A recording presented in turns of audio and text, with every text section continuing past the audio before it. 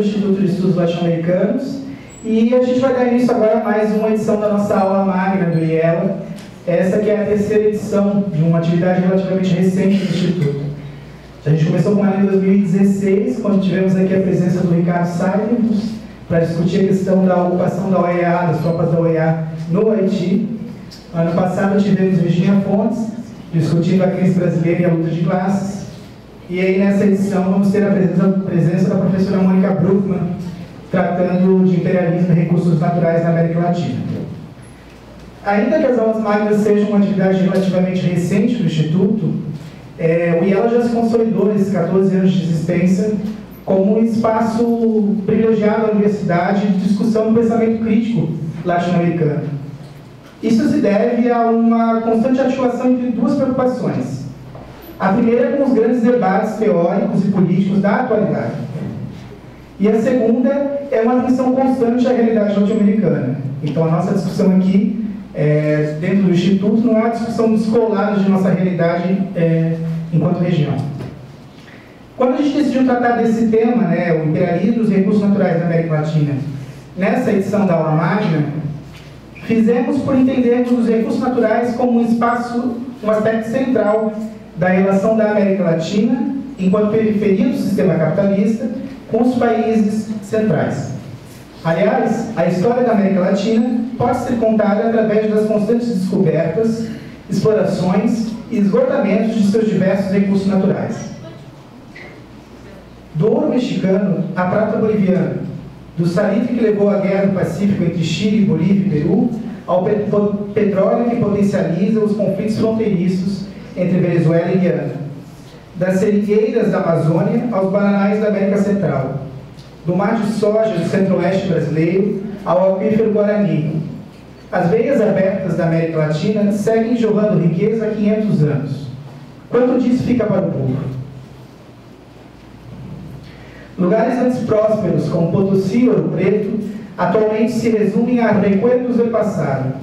E onde hoje está a riqueza, o capital mói gente incontrolavelmente na busca desenfreada pela acumulação. Para tratar do tema imperialismo e recursos naturais na América Latina, convidamos a companheira a professora Mônica Bruckmann. Mônica é doutora em Ciência Política pela Universidade Federal Fluminense, mestre em Ciência Política pela Universidade Federal do Rio de Janeiro e bacharel em Ciências Sociais. É professora do Departamento de Ciência Política da Universidade Federal do Rio de Janeiro, pesquisadora e diretora de pesquisa da Cátedra e Rede da Unesco, Universidade das Nações Unidas, sobre Economia Global e Desenvolvimento Sustentável, REGEM, é, com quem pesquisou junto a Teotônio dos Santos. Mônica foi assessora da Secretaria-Geral da União das Nações Sul-Americanas, a UNASUL, e diretora do Instituto de Pesquisa Social pelo Mundo, de Lima.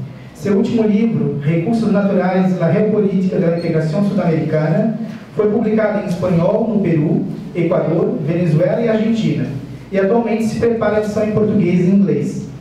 Antes de eu passar a palavra dela, e já vou dizendo como é que vai funcionar a dinâmica, ela vai ter uma hora de apresentação e depois nós vamos abrir para as perguntas né, e discussão. Já queria dar alguns avisos paroquiais. Os certificados do evento eles podem ser conseguidos depois por e-mail com o Instituto através do e-mail iela.contato.usp.br. Tá? Acho que nesse folderzinho que a gente deixou lá na frente, tá?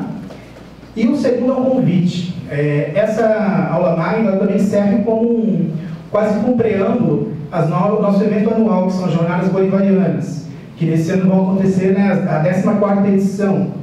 Do dia 7 ao 9 de maio, no auditório da reitoria, vamos discutir marxismo e revolução, teoria e transformação social na América Latina. Então, está todo mundo convidado.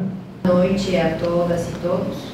Eu queria agradecer o convite para participar dessa atividade o dia de hoje. Para mim é uma grande alegria e uma honra eh, poder compartilhar algumas reflexões e algumas pesquisas que estamos realizando já há alguns anos.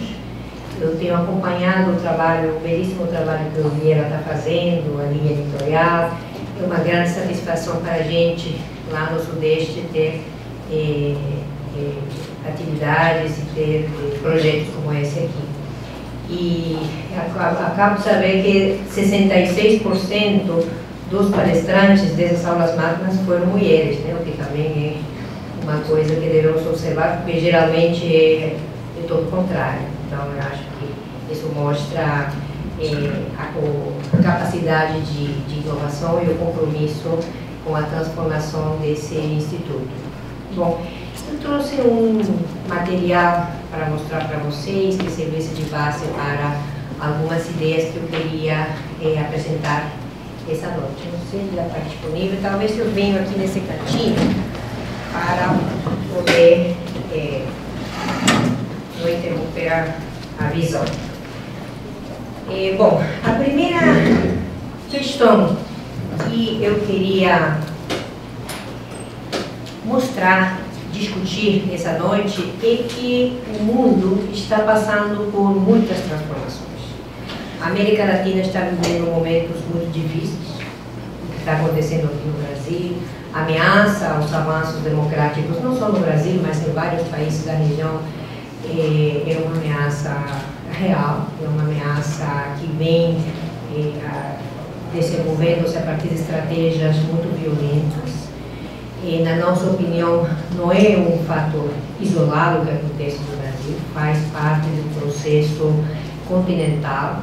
E, a democracia, como, como legado das lutas dos povos, e vamos pensar sobretudo naquela dimensão participativa da democracia que permitiu o voto aos negros, que permitiu o voto às mulheres, que permitiu o voto aos povos indígenas, aos analfabetos. Eh, não foram conquistas dadas de presente, foram conquistas produtos de muitas e muitas lutas que a gente veio acumulando ao longo de praticamente todo o século XX, inclusive antes. Né? Lembremos que a primeira revolta que o continente teve foi a revolta de Tupac Amaru II, poucos meses antes de Tupac Katari, na região boliviana, em 1781, quando Tupac Amaru se rebela contra o sistema colonial espanhol e inicia um levante na, na, na, na região andina do Peru, de Cusco para o norte, de Cusco para o sul, e, entre outras coisas, lutando pelo direito dos índios e pela finalização da colonização. Então, nós somos um continente que, desde o mesmo primeiro dia da colonização, começou a gestar diferentes mecanismos, diferentes espaços de emancipação.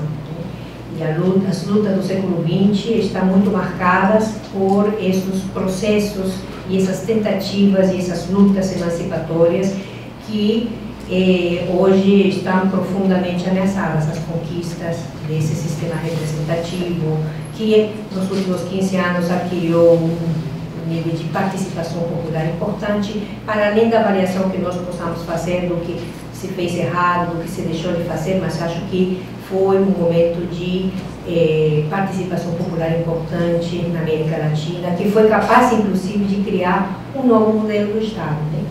Eh, vocês conhecem a experiência dos estados plurinacionais, no caso da Bolívia, no caso do Equador, desde 2008, 2009, quer dizer, a Bolívia um país de eh, população fundamentalmente indígena que permanentemente assume a postura do homem branco, a língua do homem branco e o modelo de Estado moderno europeu do século XVIII.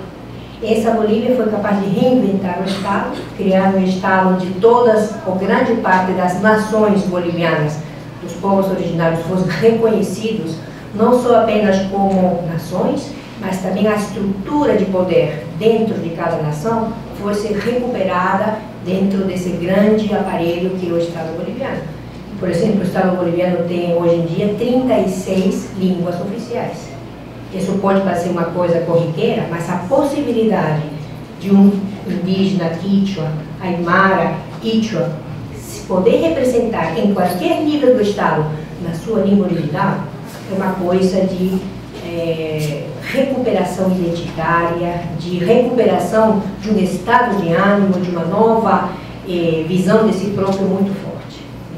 E nós temos assistido nesses primeiros 15 anos do século XXI, não apenas essa reinvenção de alguns dos processos de alguns dos estados da América eh, latina, mas também essa eh, recolocação da questão identitária como elemento central. No caso da, do, do Equador, Eh, nós temos, inclusive, algumas expressões de muito radicalismo nesse sentido, quando o Equador é a única constituição do mundo que eh, reconhece a natureza, como dizia Valdir hoje à tarde, como sujeito de direitos. A natureza tem direitos que podem ser defendidos por qualquer cidadão equatoriano que considere que a natureza está sendo lesada, está sendo destruída. E esses são elementos muito radicais que têm dado, inclusive, origem a um novo constitucionalismo latino-americano que o Secoiela acompanha, estuda sistematicamente. Pois bem, eh, eu queria então mostrar alguns elementos para analisar a profundidade dessas mudanças que nós estamos vivendo no sistema mundial como um todo e os desafios que eles representam para a América Latina nessa nova conjuntura de ameaça e profundos retrocessos do ponto de vista das políticas econômicas, das políticas sociais, inclusive do próprio processo democrático como construção coletiva e como acumulação histórica. Gostaria de passar a primeira. Esse aqui é um dado preparado para os dados de 2014 pelo Fundo Monetário Internacional e a prospecção para 2030 e para 2050 são da PCW da, do Reino Unido. Veja vocês que interessante. Isso não é uma novidade, todos vocês conhecem que desde 2014 eh, a maior economia do mundo já não é mais Estados Unidos e a China. Eh, veja vocês que o PIB, o Produto Interno Bruto, medido por dólar, ajustado a uma cesta básica nacional, quer dizer, o dólar por poder paritário de compra, que é o indicador que normalmente se usa para comparar duas economias. De outro modo, não poderia ter um sentido de comparação duas economias que têm dólares com capacidade aquisitiva diferenciada. Então, é um ajuste que se faz para comparar as economias do mundo. E em 2014, então, veja vocês, a China passa a ser a primeira economia do mundo, seguida muito de perto por Estados Unidos, em terceiro lugar a Índia, Japão, Alemanha, Rússia, Brasil, França, Indonésia e Estado, eh, eh, Reino Unido. Veja vocês que interessante, das 10 maiores economias do mundo, 5 são países dos BRICS, mais Indonésia. Né? Em 2030, segundo essa projeção que faz essa instituição inglesa, China continua em primeiro lugar, Estados Unidos continua em segundo lugar, porém representando apenas dois terços da economia china, Índia em terceiro lugar, Japão, Indonésia, Brasil, Rússia, Alemanha, México e Reino Unido. As, as maiores mudanças talvez venham em 2050. Na nossa opinião, essa mudança pode ser antes de 2050, se a gente vê o comportamento cíclico da economia mundial e não apenas uma projeção linear. Veja vocês, China em primeiro lugar, Índia em segundo lugar, Estados Unidos em terceiro lugar. Das dez maiores economias do mundo, eh, sete são dos países do sul e apenas Alemanha, Japão e Estados Unidos são das chamadas economias do norte. Né? Inclusive, vemos aqui um país africano, a Nigéria. Isso não é apenas uma mudança em termos da indústria mundial, em termos da produção, em termos econômicos. É uma mudança em termos das estruturas de poder regionais e mundiais das capacidades e acumulação para a produção de conhecimento, para a produção de ciência e tecnologia e, evidentemente, mudanças muito profundas, inclusive na hegemonia do sistema mundial contemporâneo. Evidentemente, estamos assistindo é, um enfraquecimento, uma queda da hegemonia dos Estados Unidos e a emergência de um novo polo hegemônico que tem como elemento central a China, mas também os outros países asiáticos. A Ásia começa a jogar um papel muito fundamental na economia mundial. Passemos a segunda, por favor. Vejam vocês a taxa de crescimento, projeções de crescimento econômico, eh, 2016 e 2017. Aqui 2017 ainda são projeções, mas nós podemos já comparar com o que realmente aconteceu em 2017, se aproxima muito.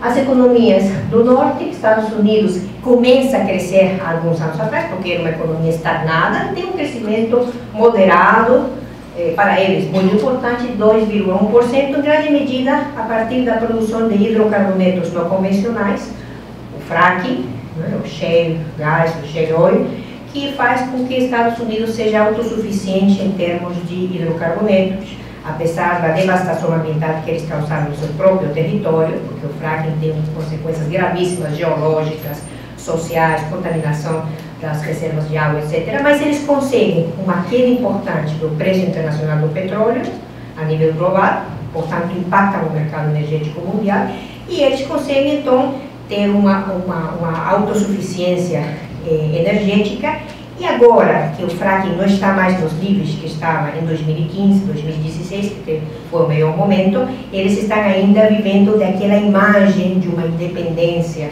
eh, em termos eh, de produção energética e uma certa bonança econômica. Essas taxas tendem a cair para 2018. Vejam vocês, a zona euro, um crescimento muito pífio de 1,7%, Canadá, Reino Unido, 2 e pouco por cento. Vejam vocês aqui, as economias asiáticas. China com um crescimento de 6%, Índia com um crescimento de 7,5%. Né? Nigéria, 4,2%. É interessante como a imprensa mundial, há um ano, um ano e meio atrás, noticiava grande mudança, uma grande eh, novidade do crescimento dos Estados Unidos. Os Estados Unidos estavam crescendo a 2,1% e a China estava em grande crise porque tinha tido uma queda de 10 para 6, 6,5%, 7% de crescimento anual. Quer dizer, a imprensa é capaz de colocar eh, na mente da opinião pública, que se deixa mobilizar por essa grande imprensa muito articulada a nível mundial, qualquer coisa. Né? Nós, com a nossa equipe de pesquisa, fazemos um acompanhamento diário ao que acontece em termos de disputa global por recursos naturais estratégicos, Cada vez que o New York Times, que é um dos jornais que a gente visita todos os dias, aparecer alguma notícia muito chamativa em torno ao êxito do fracking e a grande bonança dos Estados Unidos, a gente ia aos dados e estava acontecendo exatamente o contrário. Sistematicamente, a leitura que a gente tem que fazer de alguns jornais é uma leitura oposta. Quando o jornal bota muito ênfase em alguma questão, a gente vai aos dados e os dados dizem exatamente o contrário do que os jornais e as manchetes dizem. É assim como que vai se criando uma realidade fictícia que tem a ver com esse poder, essa capacidade ideológica que ainda Estados Unidos tem, apesar da grande queda econômica, porque Estados Unidos é um país que até ano passado tinha uma dívida colossal. Nunca antes na história dos Estados Unidos se acumulou uma dívida que equivalia a 105% do seu PIB. Quer dizer, tudo que Estados Unidos produz num ano e mais um pouquinho é a dívida pública desse país. Né? Estados Unidos não pode abrir mais um frente de guerra no planeta sem a ajuda dos seus aliados. Os seus aliados, os países da OTAN, também estão em crise, em crise, como os dados mostram.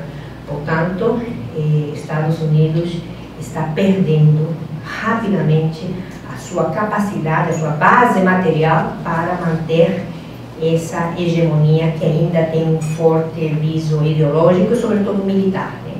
Talvez o único espaço no qual os Estados Unidos ainda tem o domínio indiscutível é a, o parque industrial militar e a tecnologia militar, mas isso também vai em processo de mudança. Vamos, por favor. Bom, esses simplesmente são os mesmos dados georreferenciados. Vejam vocês, América Latina, um crescimento de 1%, zona euro 1,7%, os países da Cham 4,8% e o sul e o leste asiático, em grande medida puxados pela Índia, 6,1%. No caso da América Latina, uma grande exceção é a Bolívia. A Bolívia é um país que está crescendo nos últimos anos a um ritmo de 4,5%, 4,4% por ano. Né? Em grande medida, graças a uma política heterodoxa, como dizem eles, de uso do mercado com planejamento do Estado. Né? Tem um grupo aí marxista importante dirigindo a economia boliviana com essa, essa apropriação eh, do, do, do mercado com planejamento do Estado, que é um processo que a gente teria que estudar mais de perto, porque é o único país que está crescendo a esse ritmo econômico. Passemos, por favor, a próxima. É, por que, que dizia que não é apenas uma mudança econômica? É uma mudança também na capacidade é, local para a produção de ciência, tecnologia, inovação e conhecimento. Veja vocês aqui, esses são os dados do gasto mundial em ciência, em pesquisa e desenvolvimento no mundo. 2013. São os dados mais atualizados que a gente tem sistematicamente a nível mundial. Vejam vocês, o maior investimento em pesquisa e desenvolvimento é no, leste e sudeste asiático. 36,8% de tudo que se gasta no mundo em ciência, tecnologia, inovação e desenvolvimento é no leste e sudeste asiático. Em segundo lugar, Estados Unidos, América do Norte, né? Canadá, México, Estados Unidos, 29,4%. Em terceiro lugar, Europa. Né? Então, vemos como também essa, esse investimento em ciência e tecnologia está se deslocando para a Ásia. Se passamos a seguinte, isso aqui é uma consequência já dessas mudanças. Vejam vocês, esse aqui, vamos a seguinte antes, por favor. Esse aqui é, é, são os dados em relação a todos os engenheiros e cientistas das áreas exatas que se graduaram em 2012. Dos 6,4 milhões de novos cientistas e engenheiros no mundo, 23,4% se graduaram na China, 23% na Índia, 11,5% na União Europeia, 9,2% nos Estados Unidos. Quer dizer, daqui a uns poucos anos, nós vamos ver então que toda a capacidade científica, toda a, a, a capacidade de, de, cientistas eh, já com grande, altos níveis de especialização não estará mais na Europa e nos Estados Unidos, onde atualmente está, mas seguramente estará nos países asiáticos. Né? Isso é uma produção científica muito articulada pelas demandas da dinâmica econômica desses países. Vamos voltar ao anterior. Anterior é o mesmo dado, só que nos graduados em ciências eh, não exatas e humanidades. Vejam vocês, dos 13,6 milhões que se graduaram no mundo, interessante aqui o papel da Índia. Quase 30% se graduaram na Índia, 11% na China, 13% na União Europeia, 9% nos Estados Unidos. Então a Índia está avançando a um papel muito importante dentro do que é a produção de conhecimento nas áreas das humanidades e ciências exatas. Vamos continuar, por favor. É, outro indicador que normalmente se usa para medir a produção científica ou tecnológica são as marcas e patentes, é o que a OECD usa e várias instituições internacionais usam. Vejam vocês aqui a mudança entre 2004 e 2014 em relação à participação de cada região na produção de marcas e patentes. Em 2004, 49% das marcas e patentes eh, foram produzidas na Ásia e em 2014 60%, 11% a mais. No caso da América do Norte, passou de 25% para 22,9%. Europa cai de 20,5% para 12,9%. Nós estamos vendo já as consequências do que significa uma, um processo de disputa global pela produção científica e tecnológica. E essa não é uma disputa qualquer uma produção científica e tecnológica é o que vai, vai garantir processos e estruturas de dominação, de poder e de direção da dinâmica da economia e do sistema mundial. Né? A América Latina, infelizmente, está cada vez mais fora dessa disputa né? e nós seguimos pensando como há 500 anos, 300 anos, 200 anos, princípio do século XX nós continuamos pensando como países bananeiros, como sempre as nossas oligarquias locais pensaram. Ao final, para que, que o Brasil vai precisar uma grande um sistema de bolsas como Ciências Sem Fronteira, que é o mais grande da região, se um país que vai exportar ferro, minério de ferro, às vezes já nem aço está se colocando como é, uma, uma, uma meta, né? se vai exportar grãos, se vai exportar soja, se vai... Não, países que vão exportar matérias-primas com valor, o menor valor agregado possível, não precisam de engenheiros, não precisam de cientistas, não precisam de uma capacidade local de produção científica. E com isso está se destruindo os avanços que o Brasil teve nas últimas, nas últimas décadas em criar espaços e criar estruturas de produção científica importantes, ainda não suficientes para o potencial do Brasil, mas importantes em relação aos outros países da região, em relação inclusive ao que poderia ser o papel do Brasil nos BRICS e nos, nas outras esferas do, do âmbito eh, geopolítico internacional. tudo isso está sendo rapidamente destruído pelo governo Temer. É, avançamos com muitos erros, avançamos com muitas insuficiências, mas mesmo assim esses avanços estão rapidamente sendo destruídos. Eu sou professora do Departamento de Ciência Política da UFRJ e eu posso dizer que em menos de um semestre a, o visual da sala de aula mudou muito. Temos cada vez menos negros, menos meninos da favela, menos meninos de setores populares. Porque é o setor mais vulnerável. Você corta como a nossa universidade se vê obrigada a cortar. As bolsas, as pequenas bolsas de iniciação científica, as bolsas de ajuda para alunos de outros, de fora do Rio de Janeiro, se é, poderem ficar no Rio para estudar, e imediatamente esses meninos tiveram que abandonar a universidade, voltar para a sua cidade de origem, ou simplesmente é, trabalhar em jornada completa, às vezes uma jornada e média, para poder subsistir. Então, rapidamente você vê como é, tem mudado né, a composição da sala de aula, com um ano e pouco de governo Temer. É uma coisa muito violenta, muito dramática, e nós estamos falando de setores extremamente eh, vulneráveis. Né? Vamos por favor. Eh, no, em termos de produção, isso é uma coisa importante a ver. Essa tabela aqui mostra os principais países em termos de produção de valor agregado, quer dizer, de industrialização. Vejam vocês, se em 2005 China tinha 11% da produção mundial, em 2010 vai para 18%, em 2016 vai para 24%. Estados Unidos vai de 20 para 17 para 15,99%. Japão cai de 11 para 8%, a Alemanha cai de 7 para 6,29%. Então nós estamos tendo mudanças importantes também especificamente em termos da produção. Né? Agora, se a gente analisa o conjunto, a produção mundial, a produção de ciência e tecnologia, o sistema financeiro internacional, veja vocês, o Banco de Desenvolvimento Asiático, que foi criado um par de anos atrás, ele nasce com um capital inicial de 200 mil milhões de dólares e um capital exatamente igual para investimento direto. O Banco dos BRICS começa a operar com 100 mil milhões de dólares. E nós, na América do Sul, após 10 anos de negociações, nunca conseguimos tirar o Banco do Sul do papel.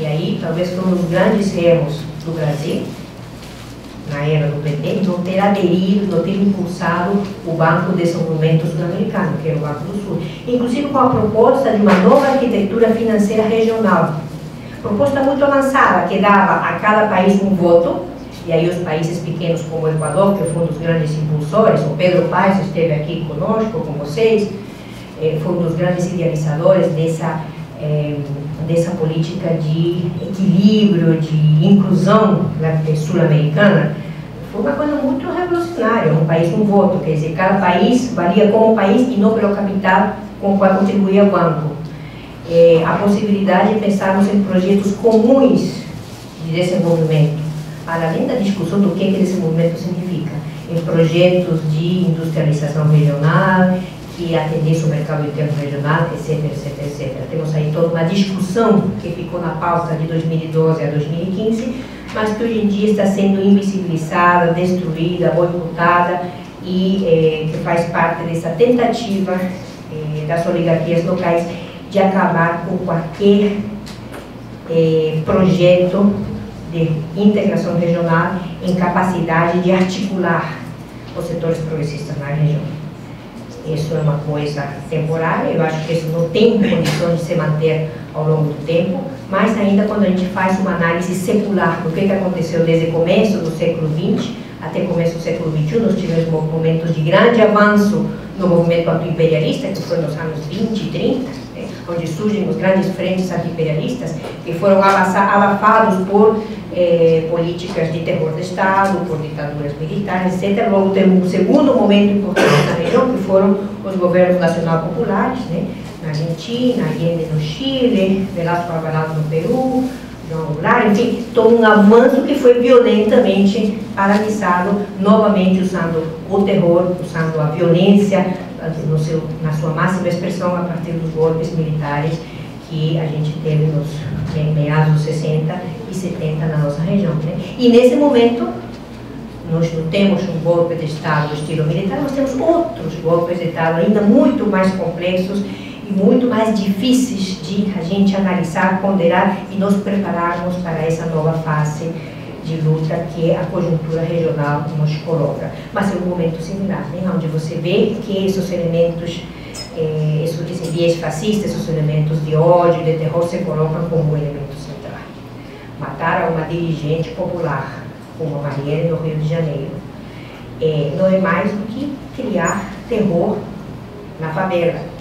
Isso acontece exatamente semanas depois que a Rosinha disse: Lula foi preso, a Rosinha vai descer favela é um perigo. A possibilidade de mobilização popular nesse país e em todos os países da região é um perigo. E tem que ser devidamente eh, controlada, né? com a militarização dos territórios, com eh, a, a, quebra sistemática e permanente dos direitos humanos, isso não é só no Brasil, no meu país, o Peru, desde os anos 90 se criaram 110 leis para eh, criminalizar a protesta para, no Peru, por exemplo, nenhum membro das Forças Armadas ou policiais pode ser julgado pelos danos que cause eh, com as armas em, em, uso da sua função. Quer dizer, isso é praticamente um passaporte para matar. Não pode ser eh, processados né, pelos danos que cause eh, as armas de fogo que eles portem quando eles estão exercendo sua função. E outras leis mais que se criaram exatamente com esse objetivo de conter a protesta popular. Passemos, por favor, às próximas. Nós temos trabalhado há muito tempo, alguns anos já, com uma ideia central, que o que marca muito esse processo, que não é um processo do século XXI, é um processo de pelo menos do século XX todo, é uma disputa global por recursos naturais estratégicos.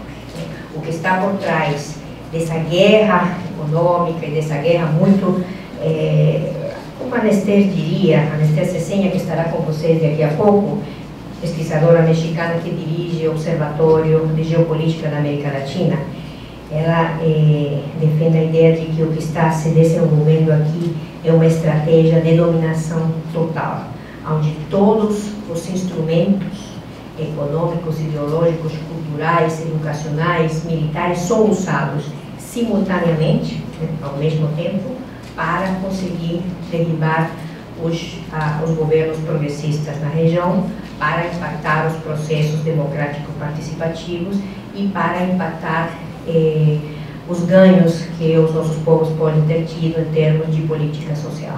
Né, e um processo de reorganização militar na região.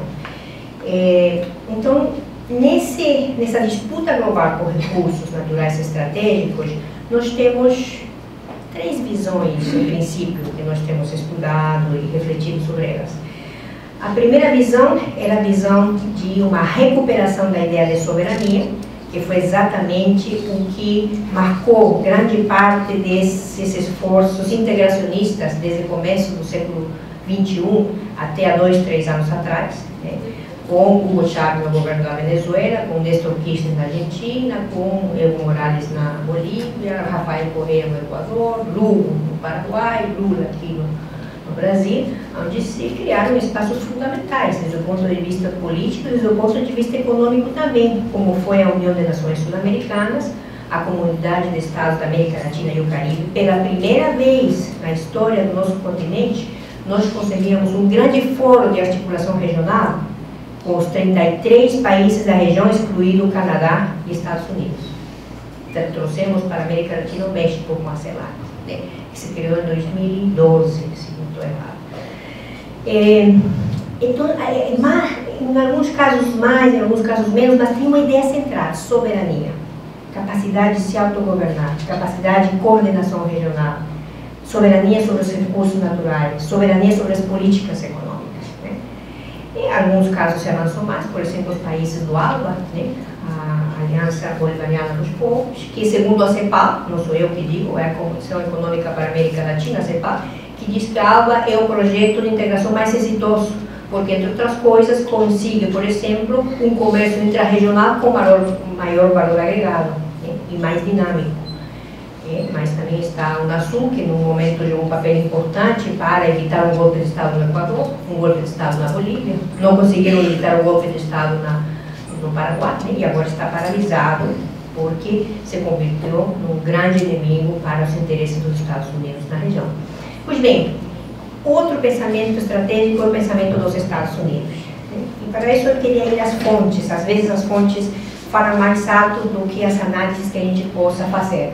Veja vocês, esse aqui é um documento de ciência e tecnologia, não é um documento de defesa, de segurança nacional, não é um documento militar. Nesse documento de ciência e tecnologia, que teve vigência por uma década, eles dizem o seguinte, na introdução, são 110 páginas elaboradas por 50 pesquisadores sênior de todas as áreas das ciências e as humanidades e mais de um centenar de jovens pesquisadores que no trabalho em equipe, isso nós temos que reconhecer a habilidade e a pertinência do trabalho que eles fazem para elaborar esse pensamento estratégico, produziram cento e poucas páginas que resumem os linhamentos que esse país seguiu durante uma década para o desenvolvimento científico, tecnológico e o investimento até no último dólar que eles faziam nessas áreas e na formação dos seus quadros. Nessa introdução diz o seguinte, para responder à evolução das prioridades nacionais, o Serviço Geológico dos Estados Unidos deve refletir e aperfeiçoar, aperfeiçoar periodicamente a sua orientação estratégica. Portanto, não tem nada a ver com uma ciência abstrata, não, é uma ciência com orientação estratégica. O desenvolvimento desta estratégia de ciência se produz num momento de tendências globais que têm importantes implicações para a ciência natural. O surgimento de uma economia mundial afeta a demanda de todos os recursos. E aqui vem a parte mais importante desse trecho.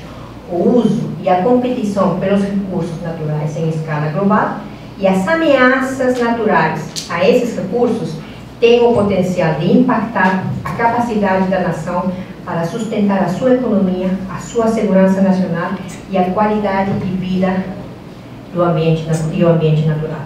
Quer dizer, o acesso a recursos naturais estratégicos são uma questão de segurança nacional para os Estados Unidos.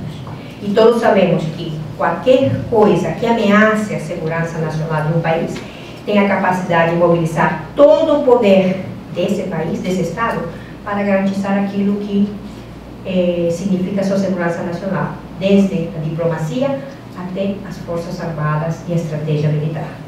Passemos à próxima. Durante a próxima década, o governo federal, a indústria e outros setores precisarão de uma melhor compreensão da distribuição nacional e global, origem, uso e consequências de uso destes recursos, para dirigir assuntos relacionados à segurança nacional a gestão dos suministros internos da nação, a predição das necessidades futuras, assim como antecipar e guiar mudanças nos padrões de uso, facilitar a criação de novas indústrias e assegurar o acesso a suministros apropriados. Acontece que em todos os casos, minerais fósseis, com exceção dos cinco anos de euforia do fracking, minerais metálicos, recursos hídricos, regiões de grande concentração de biodiversidade todos os casos, esses recursos naturais, dos quais depende a saúde da nação, como eles dizem, e a segurança nacional dos Estados Unidos, estão fora do território continental e do ultramar dos Estados Unidos. Estão, sobretudo, na América Latina, na África, e o acesso a eles significa o acesso àqueles territórios onde essas reservas se encontram. Passemos à próxima, por favor. Isso sim já é, é a estratégia de segurança nacional elaborada pelo presidente Obama, que na página 22 diz o seguinte: Estados Unidos se reserva o direito de atuar unilateralmente, se fosse necessário, para defender a nossa nação e os nossos interesses. Mas também vamos tratar de cumprir com as normas que regem o uso da força. Ao fazê-lo, fortalece aqueles que atuam em consonância com as normas internacionais, entanto que isola e debilita aqueles que não fazem. Eu acho que com isso fecha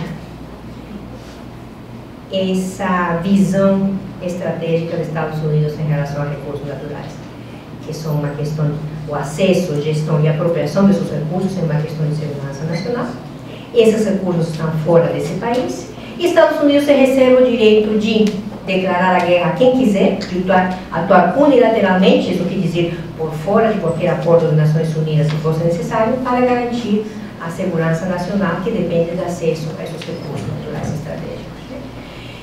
Frente a essa visão de mundo, frente a essa visão estratégica, qualquer país do planeta, qualquer país da América Latina que se proponha uma gestão soberana dos recursos naturais, se coloca exatamente no lugar do inimigo. Inimigo dos interesses dos Estados Unidos, inimigo da política hemisférica dos Estados Unidos, inimigo da segurança nacional dos Estados Unidos.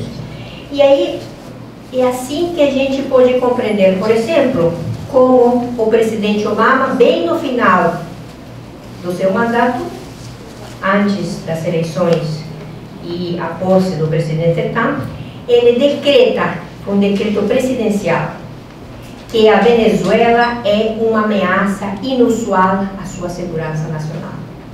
Veja vocês, a Venezuela que não tem nem meio por cento do poder de fogo que tem Estados Unidos, é uma ameaça inusual à segurança nacional dos Estados Unidos. Mas por que, uma segurança nacional? Na minha visão, é relativamente simples. A Venezuela é a primeira reserva mundial do petróleo, 19, alguma coisa por cento das reservas mundiais de petróleo estão na Venezuela. É o país que, como país que tem a maior reserva mundial. Em segundo lugar, Venezuela, em 2001, depois do paro petroleiro três meses, depois do qual a, a, o governo de Chaves recupera a gestão da PDVSA, a empresa de petróleo, portanto se apropria da renda mineira, passa de um royalty, de uma regalia de 1% para 33%, que é mais ou menos o nível internacional. Isso não tem nada de pós-capitalista, de socialista, nem muito menos. É simplesmente a renda da terra, né? puro pensamento fisiocrático aquele que usa a terra, os recursos que ela tem, tem que pagar um imposto. E esse imposto vai para o Estado e para o proprietário da terra. No caso dos, dos Estados Unidos, por exemplo, é um, um sexto para o Estado e um sexto para a Federação, que é ao todo um terço, 33%. O único país que se colocou a nível internacional foi a Venezuela, a partir de 2001, quando colocou uma, um royalty de 33% e um conjunto de impostos ao lucro do negócio do petróleo de 50%. E mesmo com essa carga impositiva toda, nenhuma empresa que operava na Venezuela deixou de operar na Venezuela, no setor petróleo. Então, é, é um país que ousou elevar as, os royalties a esse nível, sendo que Estados Unidos sempre foi o primeiro comprador do petróleo venezuelano. Né? E é um país que ainda por cima tem um dirigente maluco que pretende reavivar aqueles sim são os desejos de integração regional. O Unasul, inventa a CELAC, junto com seus colegas, criando então uma corrente de países do mal. Vocês lembram que na imprensa assim que os dirigentes estadunidenses, a começar pela primeira é, para a ministra de Estado, Hillary Clinton, chamava os países como a Venezuela, a Bolívia e o Equador, países desestabilizadores, países antidemocráticos. Venezuela é um país que em menos de 15 anos teve mais de 18 eleições, é um país antidemocrático. A Bolívia, que é um país que decretou a nacionalização do lítio, que é o seu principal, sua principal riqueza de um minério extremamente estratégico, é um país perigoso para o equilíbrio e a democracia na região. Equador decorrer a mesma coisa. Então, vemos como essa imprensa que utiliza esses termos que eh, recoloca eh, o debate dos, nesses termos extremamente ideológicos, são um instrumento poderosíssimo para a criação de um certo estado de ânimo, de uma certa opinião, eh, uma opinião pública que, como a gente tem visto no caso brasileiro, tem uma grande capacidade de manipulação, sobretudo quando é uma imprensa monopólica, como de fato é, não apenas no Brasil, na Argentina, o governo Kirchner tentou criar algumas leis, e na, no Equador também, para romper esse monopólio. E a primeira coisa que se fez depois da, da era Kirchner foi voltar à legislação anterior. O que está se propondo agora no Equador de Lenin Moreno é acabar com aquelas leis que restringiam o monopólio dos meios de comunicação. Passemos, por favor, a próxima. É, isso acho que já a gente falou disso, passamos a próxima. Esse plano tinha seis eixos estratégicos. Cada um desses eixos estratégicos tem exatamente a ver com as ações que Estados Unidos vem desenvolvendo há muito tempo na nossa região, mas que se aprofunda, se aperfeiçoa e se complexiza nos últimos anos. Em primeiro lugar, entender os ecossistemas e prever suas mudanças para assegurar o futuro econômico e ambiental da nação. Veja, vocês poderão dizer que essa discussão de ecossistemas é uma discussão meio ambiental. É sim, mas muito mais do que isso. Existem grandes projetos científicos no planeta. O CERN, o acelerador de partículas e altas física de altas energias em Genebra, que foi capaz de construir um túnel de 29 quilômetros a 100 metros de profundidade ao redor da cidade de Genebra, limite com a França, para nem mais nem menos dois objetivos: entender a evolução histórica do universo e reproduzir o momento da origem da matéria, o Big Bang. Esse túnel tem quatro colisores e em cada um desses colisores se produz é, o choque de partículas altíssimas energias, maior que a energia solar, uma velocidade maior que a velocidade da luz, que é o que rege o que acontece dentro desse túnel, para tentar reproduzir o momento do Big Bang. Quer dizer, o homem não só quer transformar a matéria, mas o homem quer produzir, criar nova matéria. Está desafiando a Deus, né? se propondo criar nova matéria. Interessante, é um projeto de há 70 anos, que se cria depois guerra, depois Segunda Guerra Mundial na Europa, e que em 2013, agora é mais, mas quando a gente visitou o CERN em 2013, eram 11 mil cientistas no mundo todo articulados ao trabalho do CERN, e um dos que eu considero os maiores experimentos eh, científicos do mundo. Mas o outro grande avanço que a humanidade tem produzido em termos de ciência e tecnologia é um conhecimento mais profundo da vida né? o genoma, eh, os ecossistemas, etc. Veja vocês, já em 2010, um grupo de cientistas nos Estados Unidos conseguiram criar uma nova forma de bactéria em laboratório. Tudo bem, vocês podem dizer que a bactéria é uma forma de vida inferior. É, mas é uma nova forma de bactéria que não existia antes nesse planeta que foi criada no laboratório. E que naquele momento acreditava-se que podia ser usada de diferentes maneiras. Por exemplo, para ajudar a despoluir o Golfo do México, que tinha tido um grande vazamento de petróleo, e que essas bactérias poderiam ter várias funções. Então, o homem já é capaz de criar novas formas de vida. Já é capaz de interferir na programação do genoma humano. Um dos grandes eh, limites para maiores avanços são limites éticos, limites da igreja, enfim, mas o homem já está uma capacidade muito avançada em termos de um maior conhecimento e intervenção no processo da criação da vida. Agora, isso é graças a quê? Graças a ter acesso a espaços de grande concentração de biodiversidade. E por isso que esse primeiro objetivo não é um objetivo simplesmente meioambiental, é um objetivo que diz respeito ao controle de espaços de grande concentração de biodiversidade, que é exatamente o espaço onde essas pesquisas podem ser desenvolvidas em, todas, em todo o seu potencial. E vejam vocês, dos 10 países mais megadiversos do mundo, 5 estão na América do Sul e 7 são, estão na América Latina. Quer dizer, a América Latina tem 7 dos 10 países mais megadiversos do mundo. E esse objetivo aqui é muito claro. Falei 20 minutos ou me faltam 20 minutos? Bom, Segundo objetivo, verificar a variabilidade e a mudança do clima, registrando e avaliando suas consequências. Terceiro tema, isso a gente tem pesquisado muito. Energia e minerais para o futuro da América, proporcionando uma base científica para a segurança dos recursos, saúde no meio ambiente, vitalidade econômica e gestão da terra. Isso aqui é uma coisa que eles cumpriram à risca. Porque, claro, para poder gerir recursos naturais estratégicos, dos quais depende a saúde da nação e a segurança nacional, Estados Unidos tem que ter um mapeio global. Tem que ter um mapeio dos recursos naturais, das reservas, da prospecção mineira de todos os países que têm as grandes reservas. É por isso que gente como eu, que há vários anos pesquisa esta temática, Infelizmente, temos ainda que apelar ao único sistema global atualizado de dados, por exemplo, de prospecção mineira, que é o Serviço Geológico dos Estados Unidos. O Serviço Geológico dos Estados Unidos é a principal instituição que reúne esses dados. Pior ainda, muitos dos nossos países na região trabalham as suas contas nacionais com os dados do Serviço Geológico, que os próprios países produzem, entregam ao Serviço Geológico, o Serviço Geológico tem isso para seu uso diverso, estratégico, científico, e depois os países são usuários dos seus próprios dados processados pelo Serviço Geológico.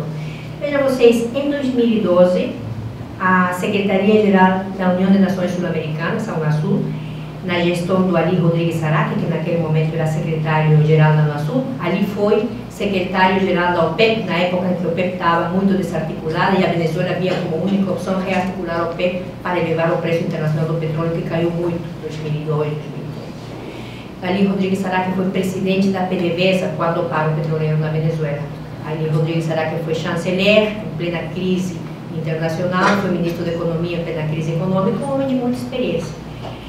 Ele propôs em 2012, recém assumir eh, em posse do cargo de secretário-geral da Unasul, na reunião de presidentes, chefes e chefes de Estado em Lima, em novembro de 2012, a necessidade de que a Unasul avance para a elaboração de uma estratégia continental de gestão dos recursos naturais, gestão soberana dos recursos naturais para o desenvolvimento dos países da Unasul.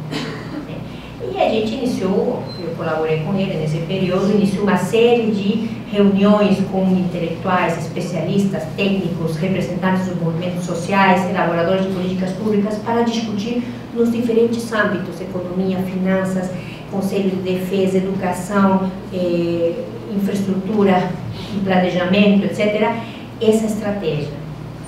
Uma das propostas foi a criação do Serviço Geológico Sul-Americano aparentemente uma questão muito técnica, uma instituição supra-regional que pudesse receber os dados geocientíficos de cada um dos países, processá-los e entregá-los de volta aos usuários, elaboradores de políticas públicas, gente de governo, cientistas, academia, etc.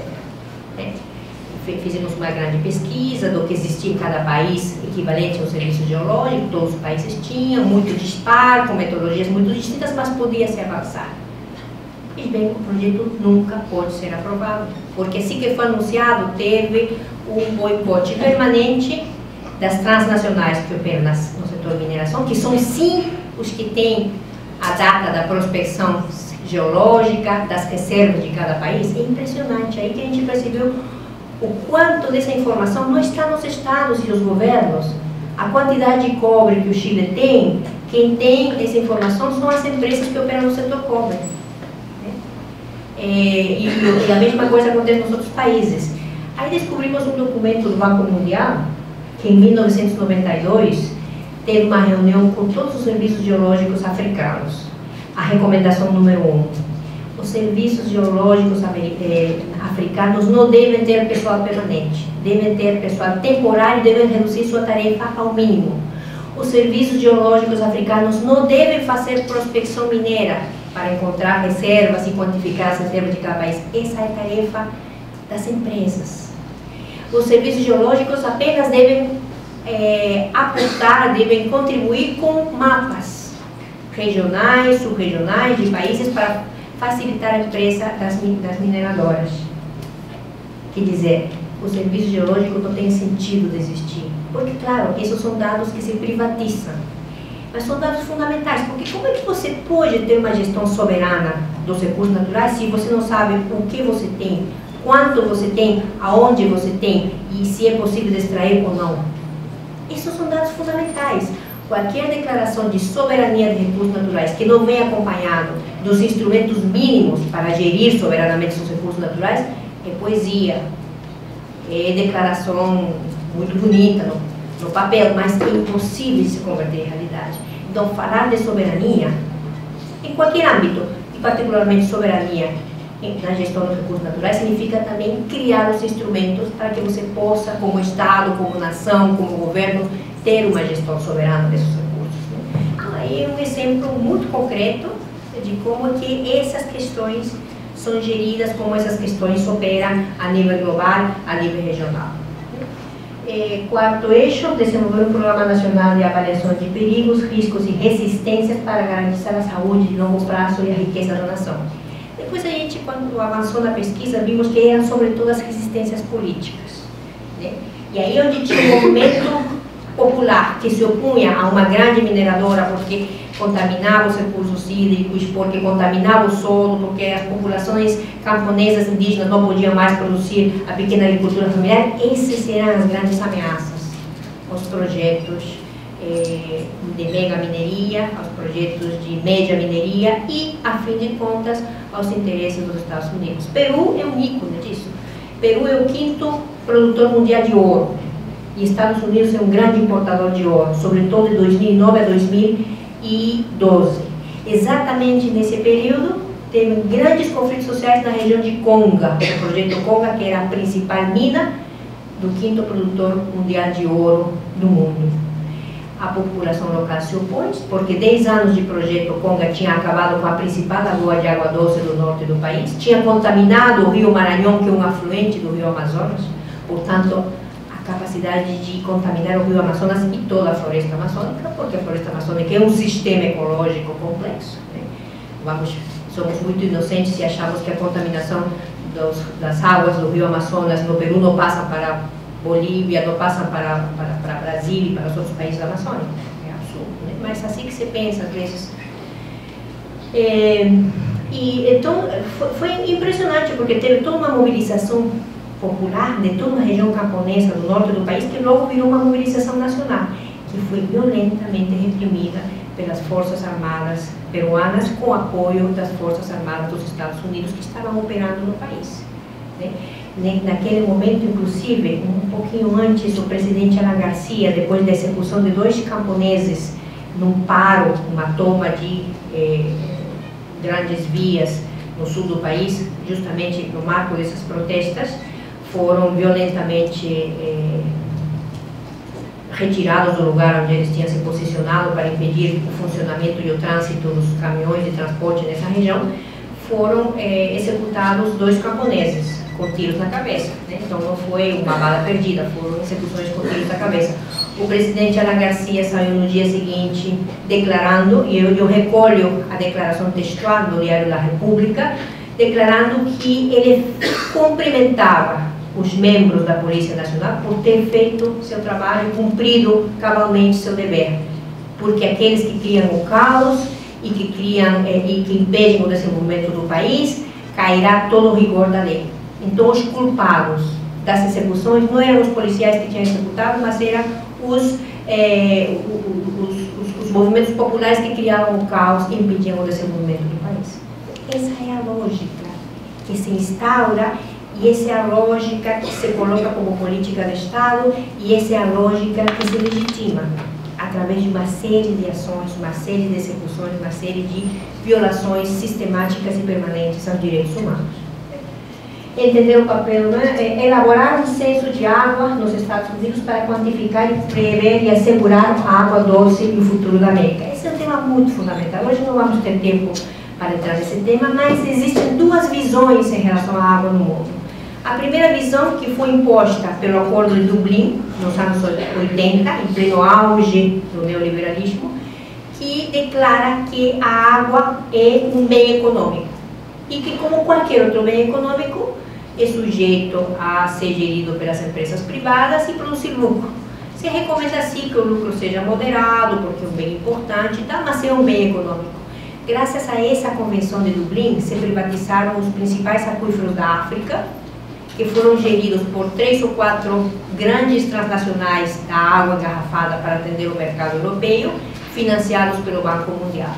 Foi graças a essa convenção de Dublin que a água da Bolívia foi privatizada com a ideia de que ia melhorar o serviço, não só não melhorou o serviço de água e esgoto, como multiplicou por seis vezes o preço da água potável, que gerou na Bolívia a guerra da água, como você sabe. Né? Teve sua origem em El Alto, mas foi uma, uma, eh, uma, mobilização popular e muito violenta em todo o país. Né? Inclusive, os agricultores, os camponeses bolivianos tinham que pagar pelo aluguel da água para molhar os seus cultivos. Uma coisa impressionante, a lógica da privatização é, é muito forte. Né? É, e a outra visão, que exatamente foi a que colocou Bolívia na Assembleia Geral das Nações Unidas em 2010, que pedia declarar o acesso à água potável um direito humano fundamentalíssimo para a vida. Não foi aprovado pela Assembleia Geral das Nações Unidas porque se opôs Estados Unidos, Austrália e Canadá. Mas ficou aí como um grande, eh, uma grande linha, uma visão importante em relação à água e muitos países assumiram isso, inclusive a Colômbia, veja. Bogotá, durante uma gestão de um prefeito eh, progressista, declarou o consumo mínimo de não sei quantos metros cúbicos por família de quatro pessoas, de seis pessoas tinha um outro montante, enfim, que esse consumo mínimo era gratuito. Então, a cidade de Bogotá garantia alguns metros cúbicos por família gratuitamente. Só a partir de um determinado número de metros cúbicos para cima que eles pagavam uma taxa progressiva pelo consumo da água. Né? Foram esforços interessantes que eu acho que vale a pena conhecer e é, estudar, porque são políticas necessárias, importantes. É, passemos, por favor, à próxima. Bom, é, dizia em algum momento que Estados Unidos se referia a recursos naturais estratégicos que impactam a sua segurança nacional e que esses recursos estão fora do eh, território continental e do ultramar desse país. Pois bem, aqui os dados mostram exatamente isso. Esses são dados de 2013, que mostram a dependência que Estados Unidos tem de minerais fundamentais para a sua economia, que representam em torno de 13 a 14% do seu PIB, diretamente, a indústria metal metalúrgica, e indiretamente tem um impacto ainda maior desde o ponto de vista econômico. São 74, 75 minerais selecionados, que os Estados Unidos considera os mais importantes, que dependem de importações. No, do lado esquerdo, vocês têm o nome do minério metálico, do lado direito, o país de onde esse minério vem, e as barras azuis são a porcentagem de dependência de importações. Veja vocês, nos primeiros 22, 24, Estados Unidos depende 99 e 100% de importações. No segundo grupo, que também são mais ou menos 24, 25, Estados Unidos depende de 50 a 98%, e no terceiro grupo, uma dependência de até 49% das importações. Quando a gente vê de onde que esses minérios vêm, em primeiro lugar China e em segundo lugar América Latina. Sendo que Canadá está em terceiro lugar, mas o Canadá tem uma coisa muito interessante. Muita importação dos Estados Unidos proveniente de Canadá tem a origem em minas latino-americanas. Então o Canadá jogou um papel de triangulação. Quando você vai ver os dados, na verdade, a origem da importação é Canadá, mas a mina está na Bolívia, a mina está na Colômbia, enfim, qualquer país centro-americano. Então, a participação da América Latina e particularmente da América do Sul é ainda mais alta do que aparece nesses dados. Passamos à próxima, por favor. Quando a gente vê quais são esses minérios, veja vocês, em relação aos minérios que Estados Unidos depende 100%, está o nióbio. Aqui no Brasil, esse tema tem sido muito discutido. O nióbio é um mineral metálico que tem uma característica muito importante que produz aleações de altíssima resistência, muito mais resistentes que o, que o aço. Então, são aleações eh, que, por esse nível de resistência, são usados intensivamente na indústria aeroespacial, na, na indústria naval, porque são eh, com baixa vulnerabilidade à corrosão, eh, e, portanto, são extremamente estratégicos. 98% das reservas de nióbio no planeta estão no Brasil. São geridas essas reservas são geridas por três empresas, todas elas pertencem a uma única família, a família Moreira Salles. Até onde as nossas pesquisas chegaram, o Brasil não tem uma política estratégica em relação ao nióbio. Né? O nióbio é exportado a preço de banana para os Estados Unidos e a partir dos Estados Unidos, as filiais dessas três empresas da família Moreira Salles reexportam para o resto do mundo é, a preço que eles fixam, né? preço de mercado que eles fixam. Então é um problema delicado, porque se o Brasil deixasse de exportar nióbio para os Estados Unidos, eu tenho certeza que a NASA, a Agência Aeroespacial Estadunidense, para até encontrar um substituto do nióbio para a fabricação dos satélites e das naves espaciais. Eles seguramente encontraram um substituto, mas esse processo levará algum tempo. Se o Brasil deixasse de exportar o nióbio para a Europa, o CERN aquele acelerador de partículas eh, físicas de altas energias a, redor da cidade de Genebra, que nós conversávamos há pouco tempo, tem grandes magnetos, que são os aceleradores, que permitem que essas partículas circulem a uma velocidade maior que a velocidade da luz, nesse túnel, graças a uma aliação de nióbio com cobre, que é a única aliação que permite uma transmissão de energia colossal, mais de 50% da energia de Genebra é usada nesse projeto, né? é, e com zero perda de energia. Vocês sabem que toda linha de transmissão tem perda de energia, no caso, a liação de cobre e nióbio tem zero perda de energia. Então, é, dentro desses minerais dos quais os Estados Unidos depende também intensivamente está o lítio. Eu tenho algumas. É, passemos a próxima, por favor. A próxima.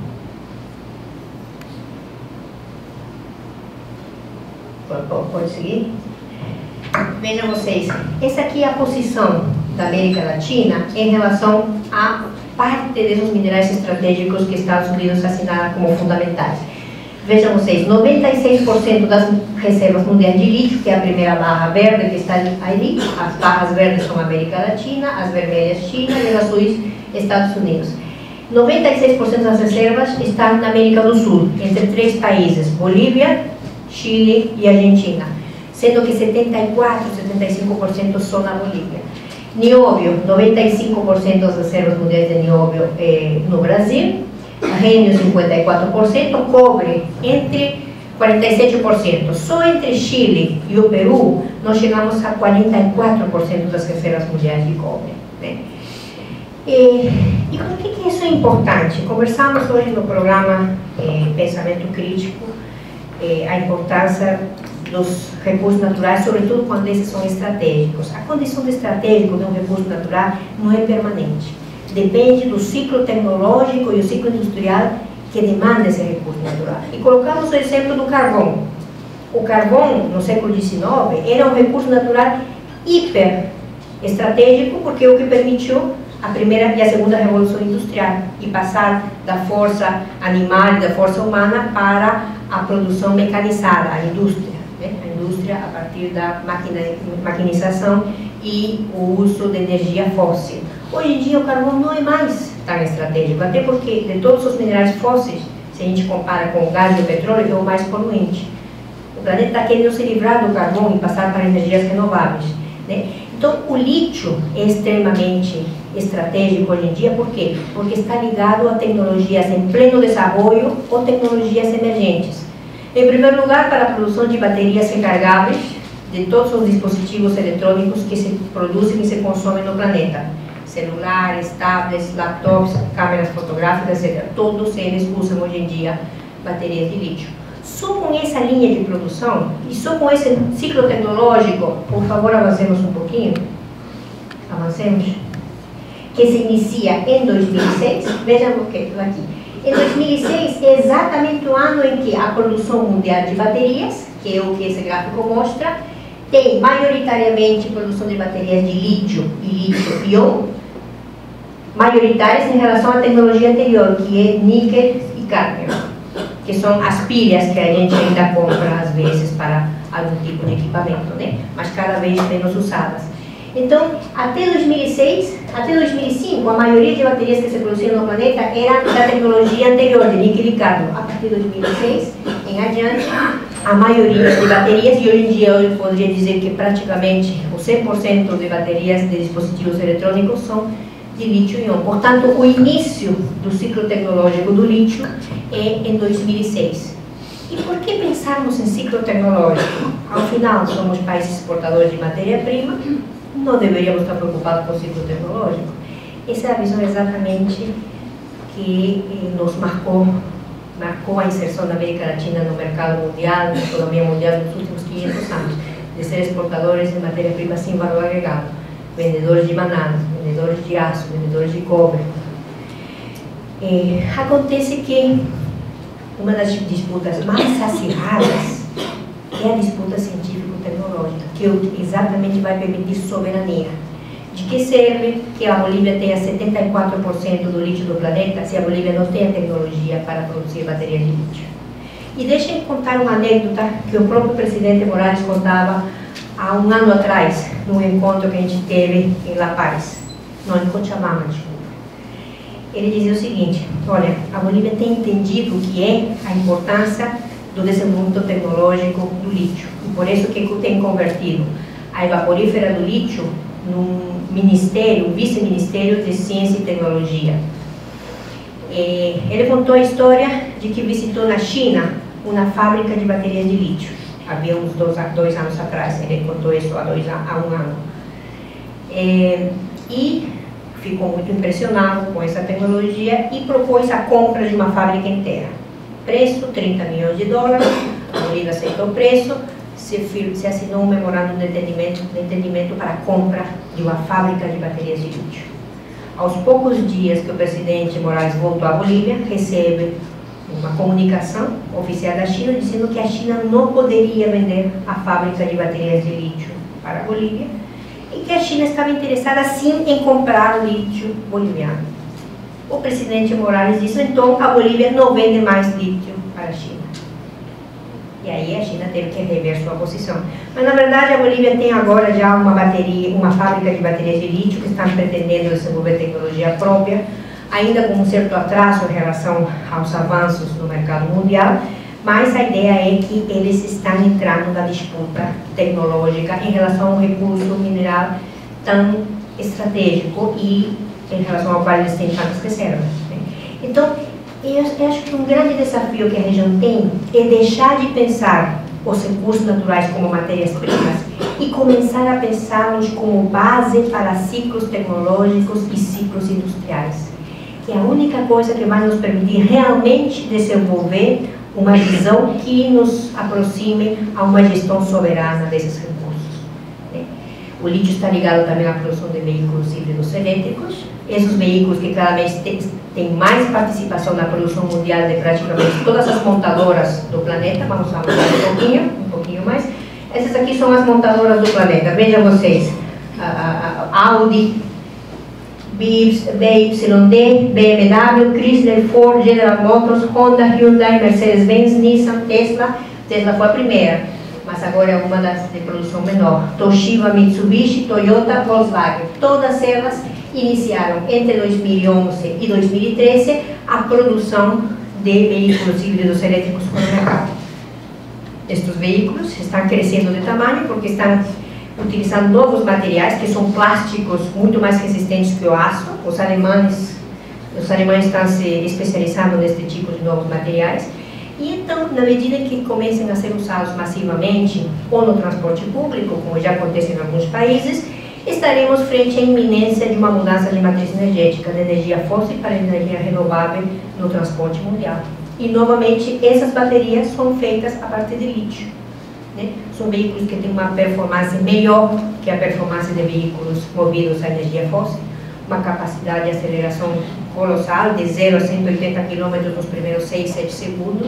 Você carrega a bateria em 5 minutos em qualquer tomada 220 volts. Tem uma autonomia de até 340 km, com a possibilidade de se recargar parcialmente com o próprio movimento do veículo. Né? E são veículos absolutamente eh, não são barulhentos, são silenciosos e eh, têm um impacto muito menor na contaminação ambiental. Eh, então, essa foi uma das primeiras questões que a gente planteou nessas reuniões que a gente tinha na UNASUL de 2012 a 2015. Por que não pensarmos, Chaves dizia, uma grande nacional, uma grande latina, do lítio, que incorporasse não apenas os três países que têm as reservas mais importantes, mas o Brasil, outros países com capacidade tecnológica e, e, e parque industrial importante, para um grande projeto de pesquisa de lítio e de produção de baterias recargáveis, inclusive alguns protótipos de veículos híbridos elétricos. Né? Foi um debate muito interessante, mobilizou muita gente, mas lamentavelmente aconteceu justamente nessa mudança na conjuntura eh, política regional, quando talvez alguns desses projetos poderiam ter se concretizado. Mas ficaram na pauta da discussão, ficaram no debate acadêmico, no debate dos movimentos populares, dos movimentos sociais. Eu acho que faz parte desse legado que esse momento de hegemonia da integração regional, dessa visão de integração soberana nos primeiros 15 anos do século XXI deixam como legado. Passar. Uh, voltemos aqui simplesmente uma menção muito rápida, porque me restam dois minutos. O grafeno. Grafeno é um desses novos materiais que ainda está sendo produzido em laboratório. O grafeno permite muitas coisas. Primeiro, é um supercondutor.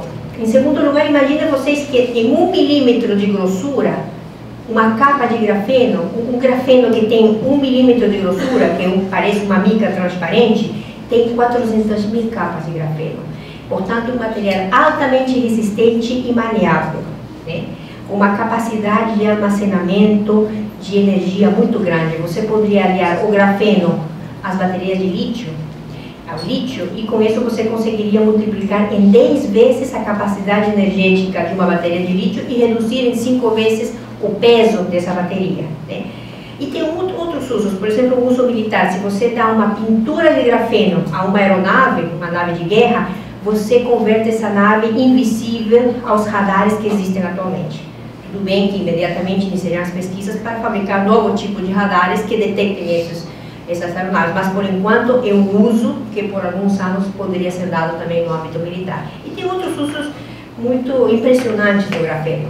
Pois bem, a base do grafeno é a grafita grande parte, a primeira reserva mundial de grafita é a Turquia, 39%, e a segunda reserva mundial de grafita é o Brasil. Né? Terceiro lugar, a China.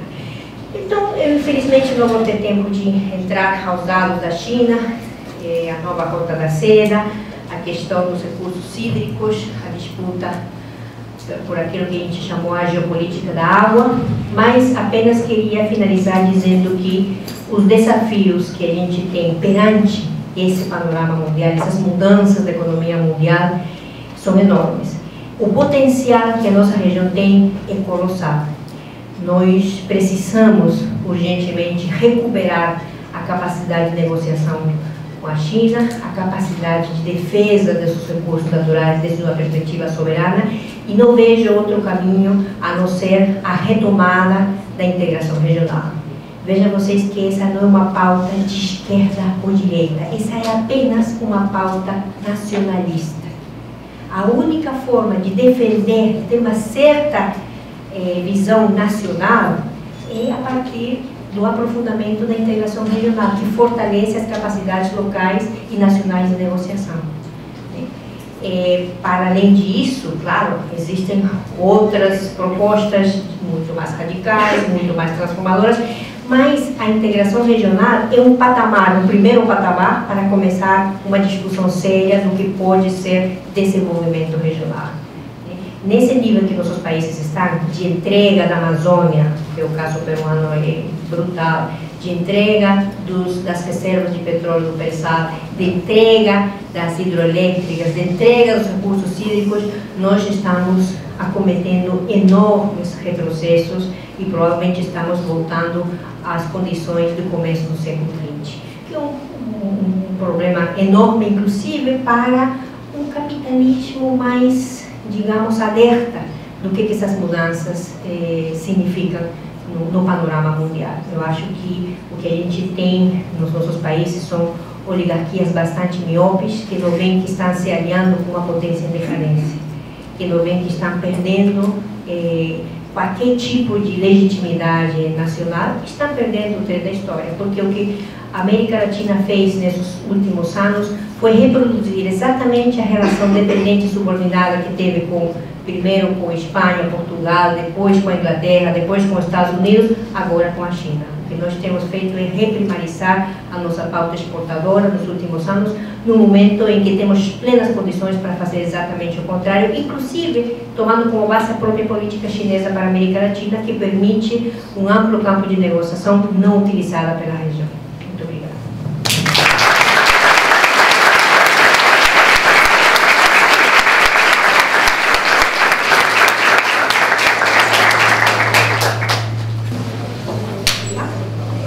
Boa noite. Tenho uma coisa para colocar e tenho uma dúvida.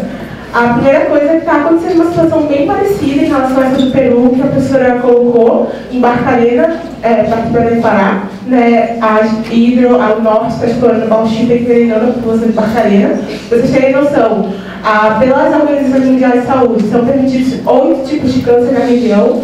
Barcarena, nos últimos dez anos, depois que a Hidro começou a, a sua atividade lá, tem aproximadamente 28 tipos de câncer. E nesse contexto, eu gostaria de saber como a professora vê a questão da renca, que o Temer tem, é, extinguiu, desextinguiu e quer extinguir novamente, e que houve todo um trâmite burocrático jurídico bem complexo ali, né, que ele deu uma canetada, depois descanetou, e como que isso está integrado dentro dessa questão dos recursos naturais, né, a RICA, que é a Reserva Nacional de Cobre Social. Boa noite, é, me chamo Tomás, sou professor de Geografia no Colégio de Aplicação. Obrigado pela aula, excelente, professora Mônica.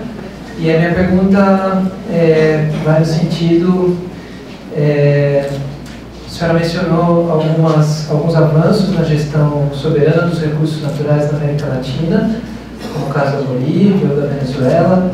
A gente poderia acrescentar o Equador também, é, no reconhecimento jurídico da, da natureza, né, como sujeito de direitos.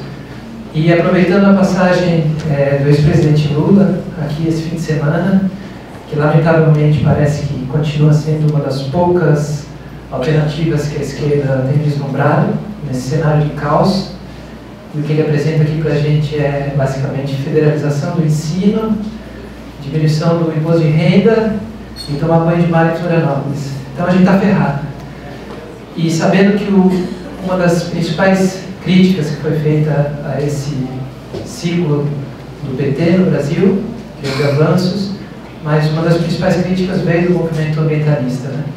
Então, bom, pela minha ignorância, eu gostaria de saber se houve algum avanço durante essa era do PT na gestão soberana dos recursos naturais no Brasil, ou seja, em que medida que a crítica ambientalista ela é justa ao PT e que a senhora pudesse falar um pouco mais sobre essa nova é, configuração aí que, que você bem apresenta da China como uma nova hegemonia e a demanda por recursos naturais, enfim como é que a gente fica na América Latina. Boa noite, meu nome é Cris, eu sou do doutorado no Serviço Social. É, Mônica, você fala um pouco, um pouco não, né, muito da, dessa centralidade dos recursos minerais, principalmente, mas também da água, é, para esse desenvolvimento global. Eu queria que você falasse um pouco, pegando a questão da terra né, e da centralidade que ela ocupa, considerando a terra né, na sua amplitude, é, falasse um pouco dessa, dessa disputa global pelos recursos e o impacto que isso tem, por exemplo, na, no fato de que a gente na América Latina nunca teve uma reforma agrária é, que de fato, apesar né, do México e de outras situações, que de fato é, cumprisse né, o papel social. Então, falasse um pouco dessa disputa pela terra e do quanto isso impacta é, nesses processos né, de extrema desigualdade na apropriação da terra e também para os movimentos sociais, toda, tudo isso que chega na ponta né, de criminalização, de matança das lideranças, etc.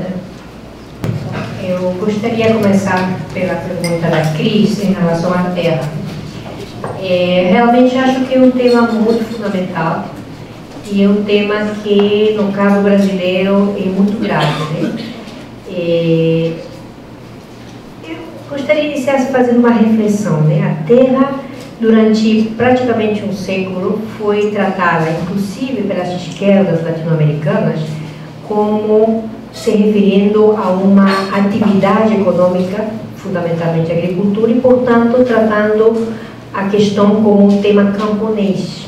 Né? Quando emerge o movimento indígena no final do século XX, e ele se reorganiza mais ou menos na contramão em que, por exemplo, os países andinos se desintegram, a comunidade andina se desintegra exatamente no mesmo período que os povos indígenas se integram, a partir de um grande movimento indígena, primeiro andino e depois andino-amazônico.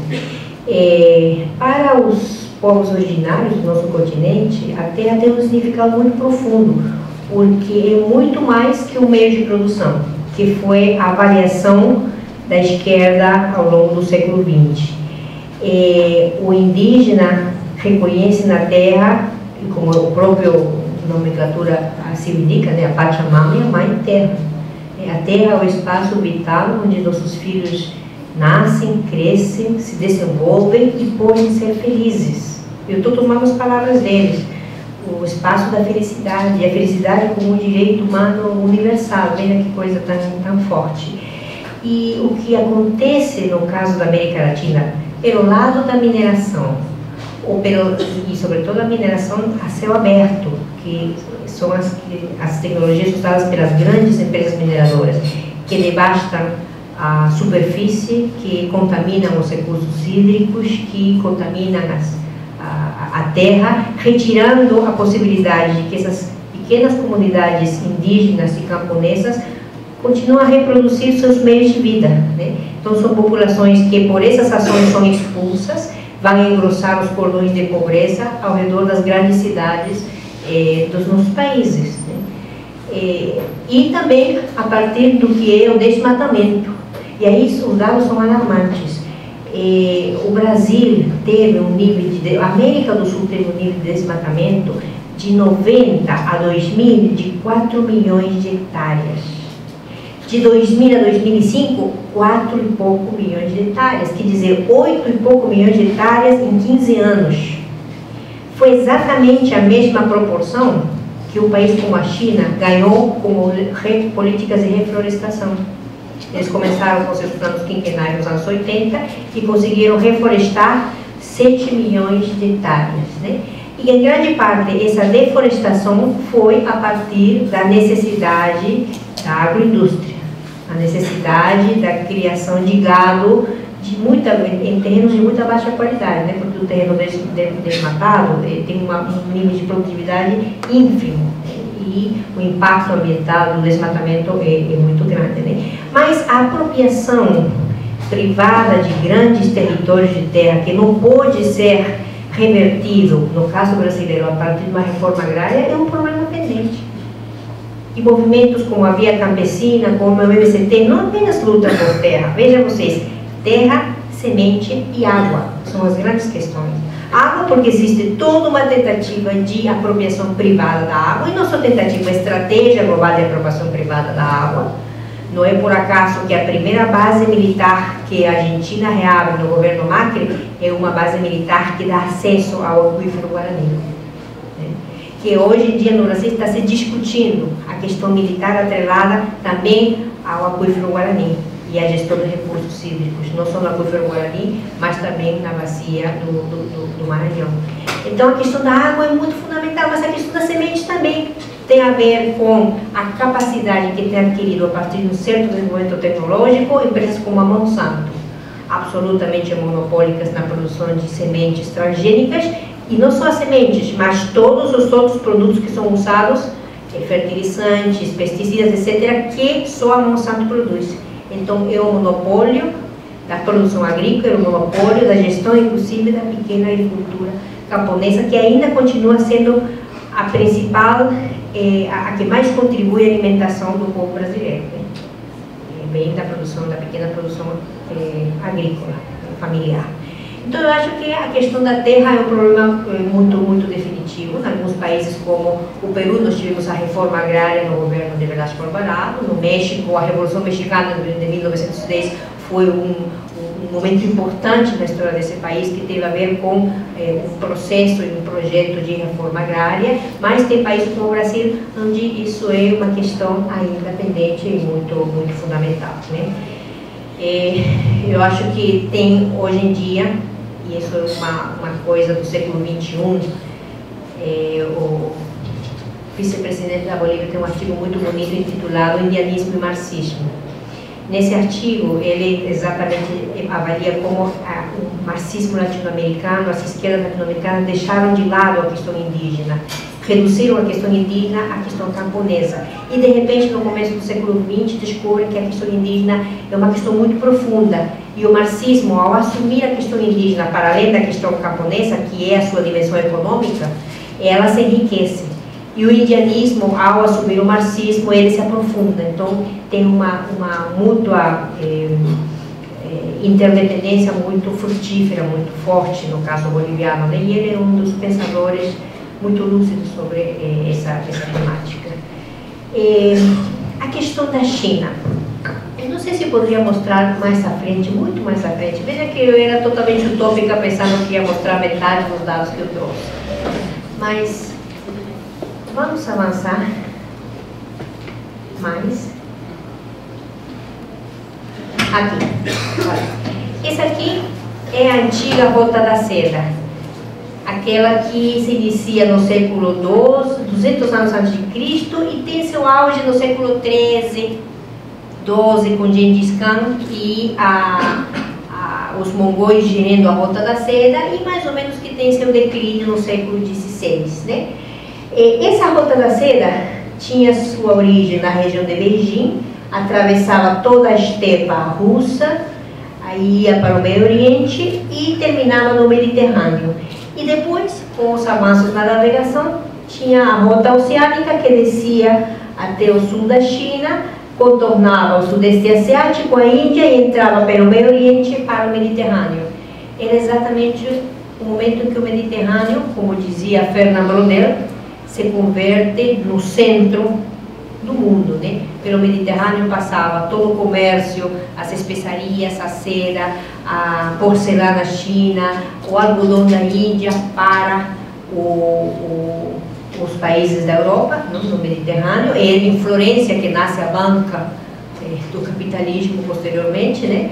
Eh, e era da Europa da onde vinha todo o ouro e a prata desse sistema mundial, até praticamente o século XVII, que ia dar, como diria André Buderfrank, que nem um ralo na China.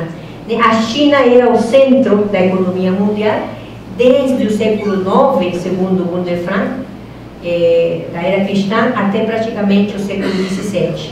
Era na China onde se tinha a produção artesanal mais elaborada, e era a China onde ia dar como destino final o ouro e a prata desse sistema. O segundo círculo concêntrico, quer dizer, a semi-periferia desse sistema mundial, inclui a Índia, que era um grande produtor de algodão. E a periferia, que seria o terceiro círculo concêntrico, era a Europa. Né? A Europa era a periferia desse sistema mundial durante praticamente mil anos. E o quarto círculo seria incluir a América, que a partir da colonização europeia aportava com ouro e a prata que ia andar na China novamente. Pois bem, essa é a antiga rota da seda que fornecia dos produtos mais elaborados da Europa durante eh, esses mil e poucos anos. Veja vocês a próxima. Essa é a nova rota da seda, lançada em 2013. One Belt, One Road, lançada em setembro de 2013, e que significa, veja vocês, grandes corredores de infraestrutura que exatamente se inspiram na velha Rota da Seda, que vão atravessar desde a região de Beijing, Dandong, até Madrid, atravessando a estepa russa novamente, até Madrid como destino final. Significa trens de alta velocidade para transporte de mercancias, para transporte de pessoas. Em pouco mais de uma semana você vai partir de Beijing e chegar em Madrid. Significa essas linhas eh, essas linhas interrompidas, né, são eh, pretas, são oleodutos, as linhas verdes são gasodutos, linhas contínuas verdes e gasodutos já construídos, linhas descontínuas verdes são eh, gasodutos projetados. Né?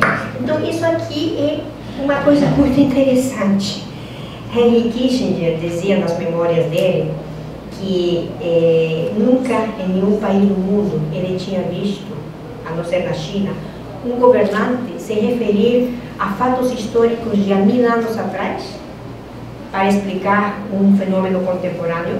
E pior ainda, dizia ele, nunca havia visto um povo entender perfeitamente o que esse governante quis dizer com essa, esse exemplo de há mil anos atrás. Só na China, né? A China diz como a anedota do príncipe amarelo parece não ter início e não ter fim, parece que a China sempre existiu. E o Kissinger, que foi assessor de Nixon e foi um dos que teve como tarefa reaproximar os Estados Unidos da China, conhecia muito bem a China. Né?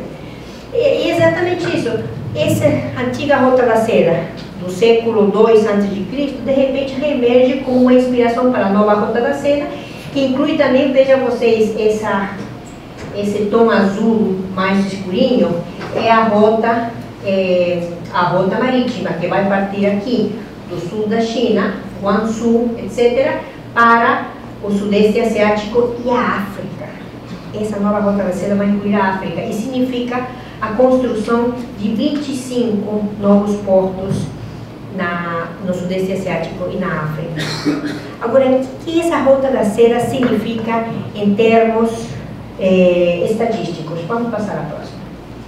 Vejam vocês, as grandes áreas de investimento serão a área de Xinjiang, que vai desde onde vai se gerir a rota continental, e a área de Fujian, a província de Fujian, desde onde vai se gerir a rota marítima. Passemos à próxima. Essa rota da seda não é nada mais e nada menos que um grande projeto de negociação diplomática, econômica e política entre todo o Meio Oriente, o Sudeste Asiático, o Norte da África e a Europa. Vejam vocês, e aqui que a gente entende a profundidade da aliança sino-russa. Porque sem a Rússia, essa rota da seda, pelo menos na dimensão continental, não tem como ser executada. Estados Unidos estava jogando, brincando de que ia criar atritos entre a Rússia e a China. Putin deixou ele acreditar que ia criar atritos. Mas é muito difícil pensar numa ruptura de uma aliança tão profunda que está redesenhando o velho continente euroasiático. Vamos passar a próxima, por favor. Vejam vocês, nesse momento não, Isso, esses dados são de maio do ano passado, eu devo atualizar eles, mas até maio do ano passado, quando se produziu a última rodada de lançamento da nova rota da seda para a Europa, significava negociação com 50 países do mundo, que significava 4,4 bilhões de pessoas, quer dizer, 63% da população mundial grande parte dos países eram países em vias de desenvolvimento com relativamente pobre infraestrutura. Né? Vejam vocês, 6,9% dessa população, desses 63% da população mundial, é uma população com alto ingresso per capita, com mais de 12 mil dólares por ano. É uma população que tem um consumo alto, estándar, já tem um comportamento regular. A maior parte dessa população, 55,2%, é uma população com baixo a médio ingresso per capita, de mil a 4 mil dólares por ano per capita. Exatamente essa população que tem a capacidade de expandir seu consumo. E 6,7% dessa população, população de baixa renda. Vamos passar a seguinte. Prioridades de cooperação. Coordenação de políticas, infraestrutura e construção, investimento em cooperação, olha, o Banco de Investimento Asiático, de Desenvolvimento Asiático, cooperação financeira e promoção e intercâmbio.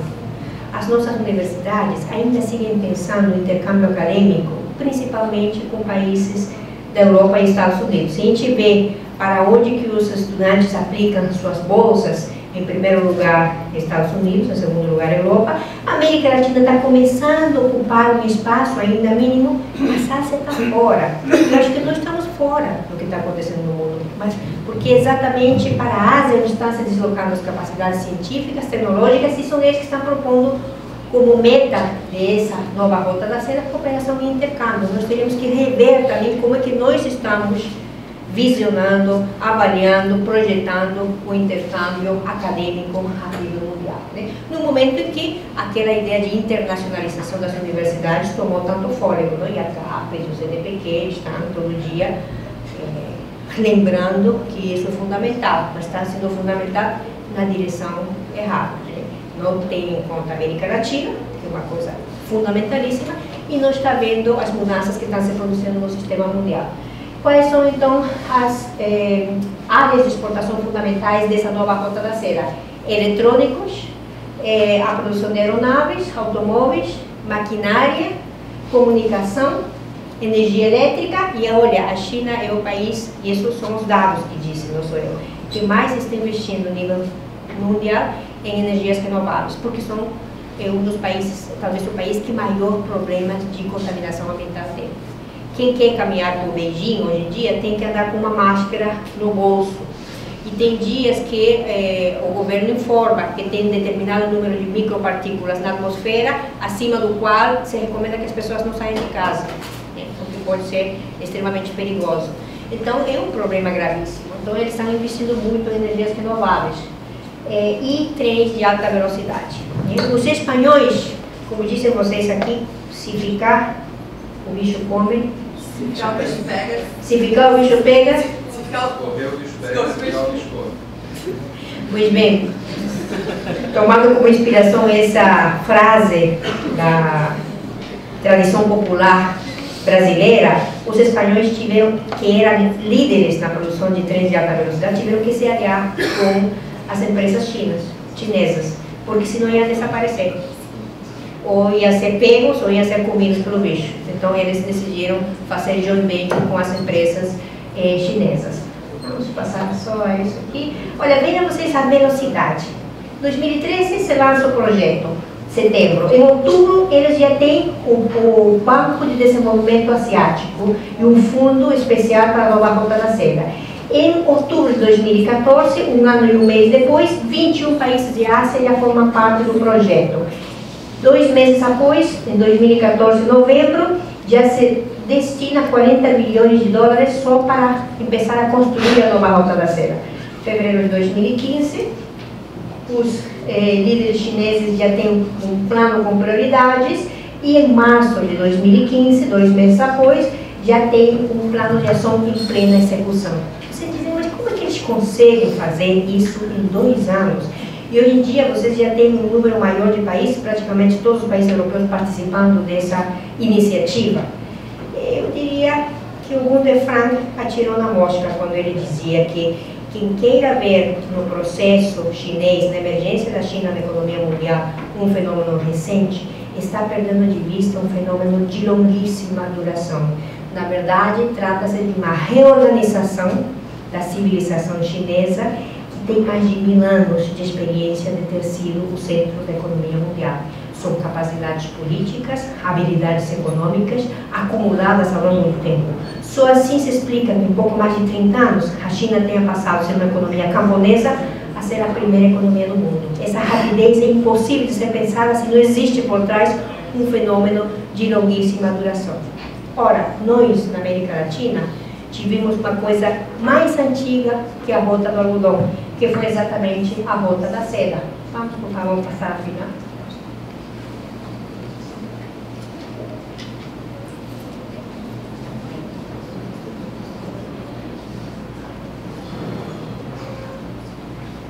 Aí, aí voltamos.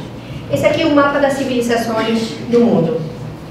É, até 20 anos atrás, nós tínhamos a ideia e a, é, ciência e a arqueologia mundial assim o reafirmava, de que a civilização americana, com Mesoamérica, a civilização olmeca, era uma das mais jovens do planeta, com 3.200 anos de antiguidade, que antes dela estava a África, né, Egito com 5.500, é, a Mesopotâmia com 5.700, né, é, a Ásia com 3.900, é, o, o Meio Oriente com 4.500. Pois bem, há 21 anos ou 22 anos, nós descobrimos que tivemos a terceira civilização mais antiga do planeta, que foi a civilização Caral, aqui na costa central do Pacífico, a 400 quilômetros ao norte de Lima. A civilização Caral tem 5 mil anos de antiguidade, é uma civilização descontínua, porque há 4 mil anos atrás desapareceu, mas ao longo dos mil anos de existência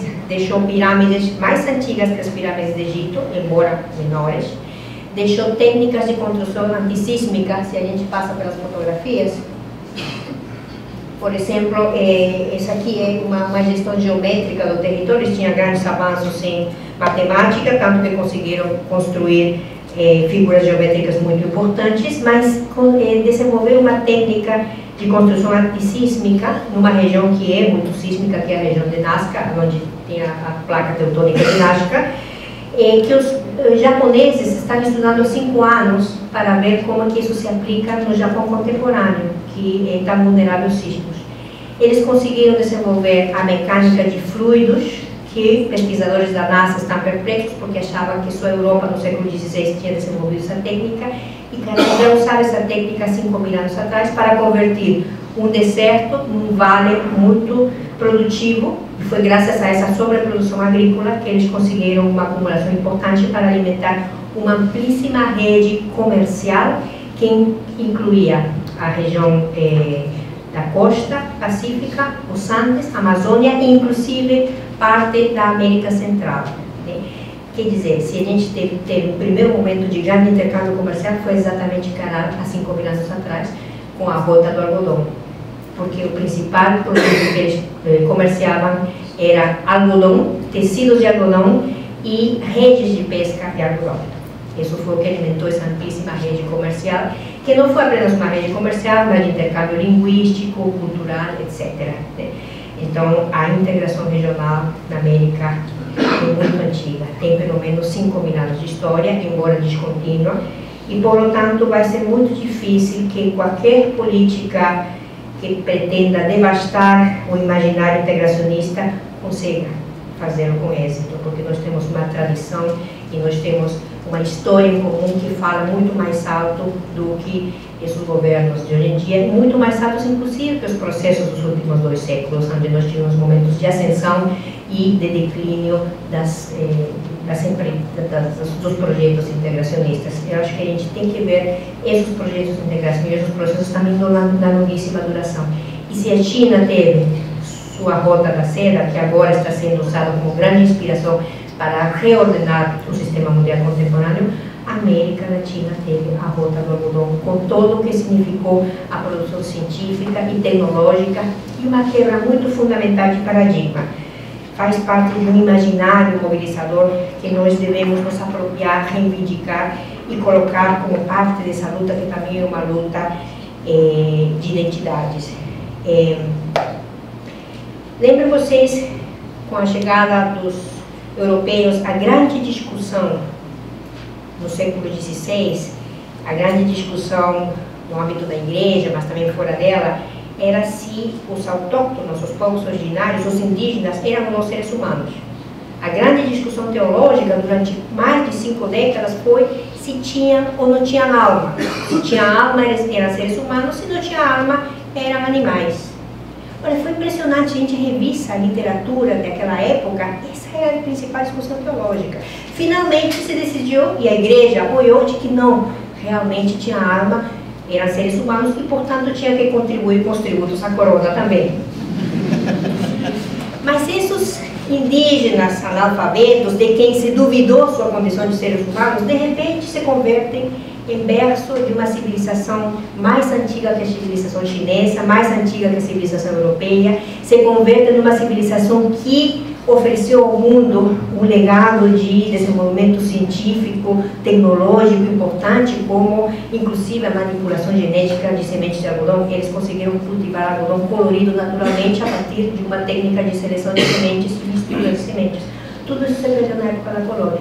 Mas isso faz parte do nosso legado histórico que devemos recuperar, nos apropriar para repensar o futuro da nossa região dentro desse contexto regional e para reempoderar os nossos povos com aquilo que nos pertence, que é a nossa história, não contada pelos dominadores, mas redescoberta pela gente.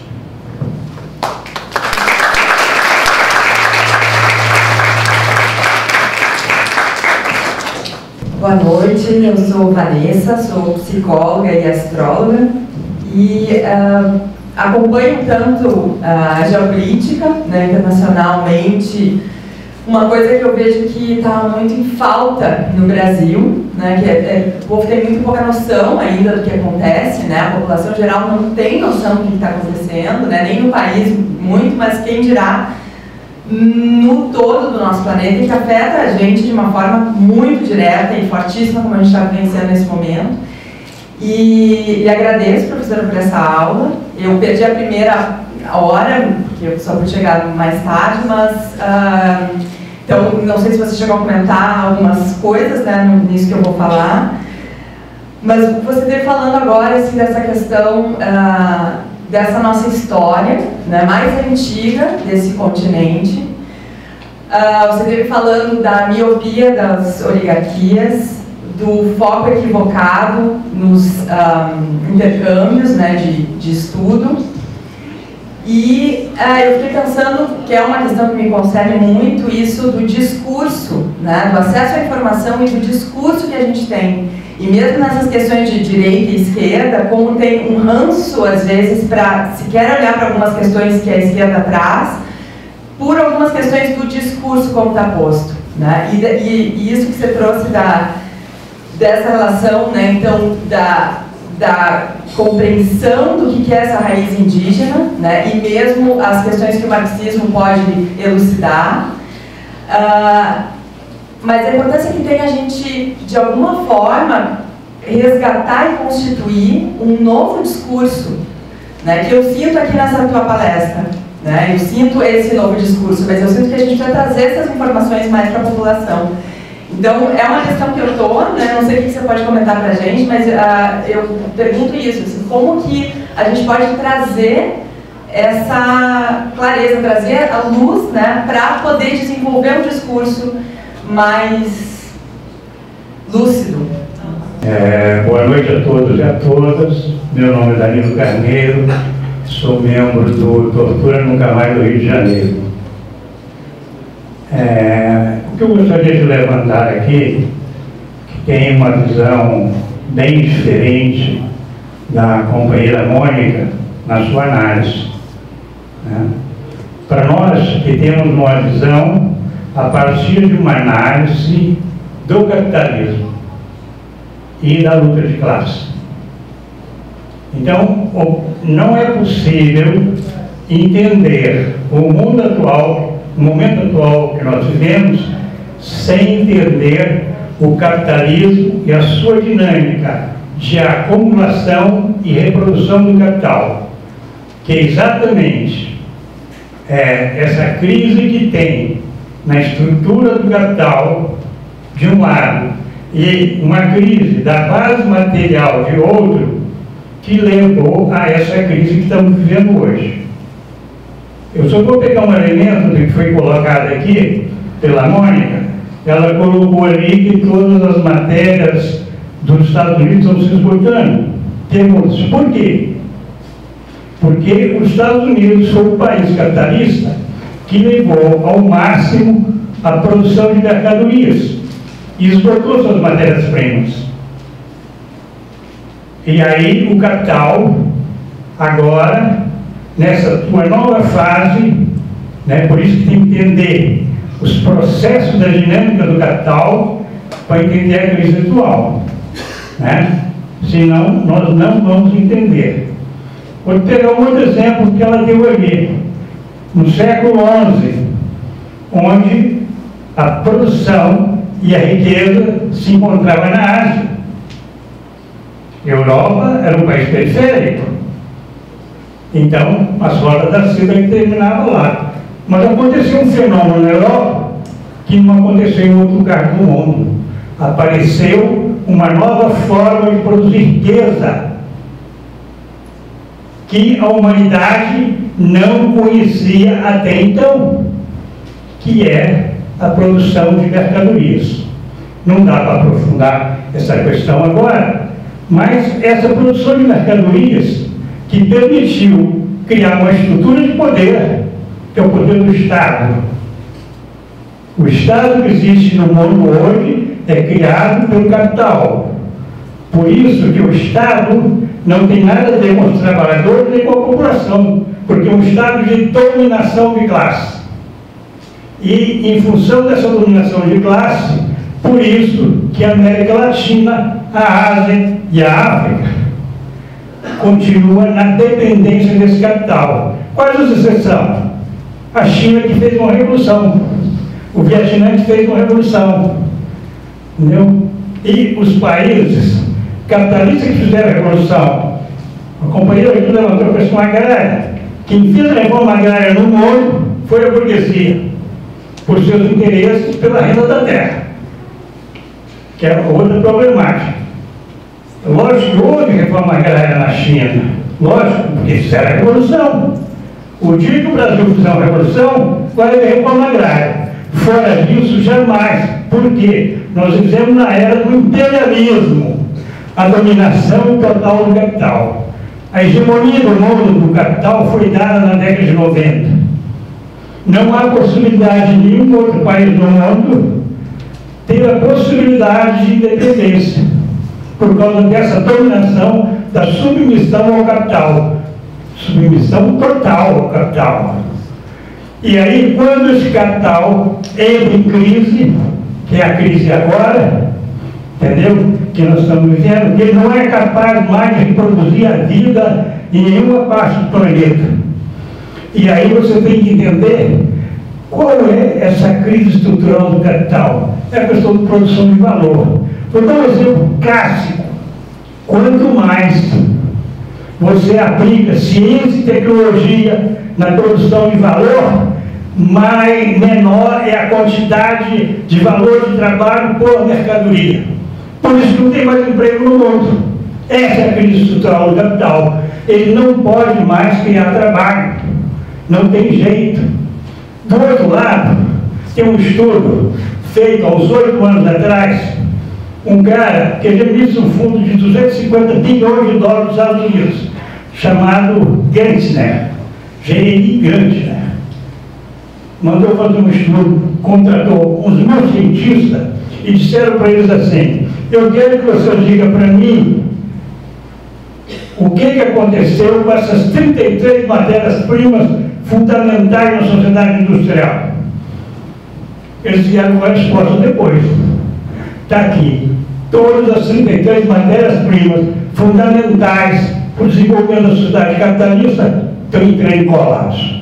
Eu vou citar uma, a mais importante dela, o petróleo. O petróleo está acabando.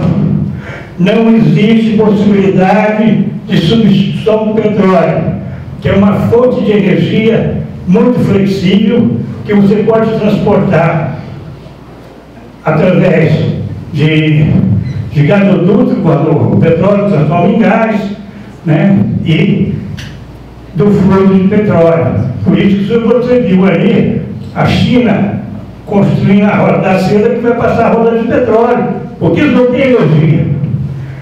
A China, o Japão não tem energia. Tem energia do carvão, mas tem um problema sério de poluição. Não vou entrar nessa questão fundamental. Mas então, se nós não entendermos a crise estrutural do capital, não tem como é, entender agora. Por exemplo, não há países soberanos no mundo. Porque quem manda nos governos, nos estados, são as transnacionais. O Obama, quando faz uma coisa, é o capital determina para ele o que fazer o que não tem que fazer. O Trump é a mesma coisa. Você vai na Europa, o que, que a Merkel faz? O que as grandes corporações determinam de fazer? O Lula entrou no poder aqui. A Dilma entrou. O que, que eles fizeram? Aquilo que o capital determinou para eles fazerem. Por isso foi essa tragédia. Do outro lado, temos a questão de classe social. Desde a década de 70, a esquerda no Brasil deixou de lutar pela revolução. Nós fomos expulsos do PT como ratos. Por que defendimos a revolução? E continuamos defendendo.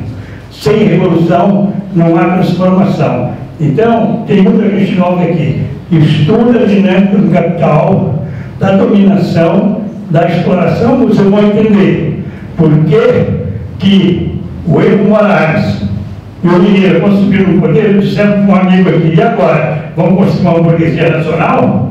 Está lá, encalacrado com as nacionais, tanto é que tem problema. Agora, porque essa nacional, inclusive, seria do Brasil, para ligar ao comércio da Ásia, querendo saída para o Pacífico. Do outro lado, os interesses das empresas que exploram os minerais lá, não, aqui não, porque os nossos interesses. Então é uma guerra de interesses. O que é a guerra na Síria? As rotas de energia passam por lá. Aí vocês vão ver que países soberanos no mundo é Japão, China, Rússia, Estados Unidos e a Europa no seu conjunto. Mas a Europa hoje é uma colônia americana. O que é americana? Colônia do capital americano, das transnacionais americanas, não do governo americano. É só levantar essas questões para a gente. Obrigado. Começar pelas perguntas que eu deixei do bloco anterior, né, em relação ao PT e até que ponto o PT eh, produziu condições para uma gestão soberana dos recursos naturais. Eu acho que, no sentido geral, o PT não mudou a estrutura de propriedade, a estrutura de gestão e a estrutura de taxação eh, dos recursos naturais nas diferentes áreas, mineral metálico, eh, minerais fósseis. Eh, inclusive, talvez o que a gente se poderia reconhecer como um avanço, que foi o primeiro que foi ameaçado eh, e mudado pelo governo Temer, foi a legislação especial criada para as reservas de petróleo no offshore brasileiro do pré-sal. Aí eh, o governo do PT teve a lucidez de criar uma eh, legislação especial que permitisse a obrigatoriedade da gestão do Estado brasileiro a partir eh, da Petrobras na, nos, nas reservas eh, do, do, do pré-sal. Reservas, aliás, que hoje convertir ao Brasil não são um grande produtor mundial de petróleo, mas também no exportador de petróleo. Né? E não foi por acaso que a primeira medida provisória, lembro vocês, a primeira que o governo eh, golpista enviou para eh, reforma no Congresso foi exatamente essa legislação especial que condicionava a participação do Estado brasileiro, a legislação de partilha, na gestão dessas reservas de pré-sal e agora a gente já teve várias rodadas de leilões internacionais eh, de essas, eh, esses lotes do, do.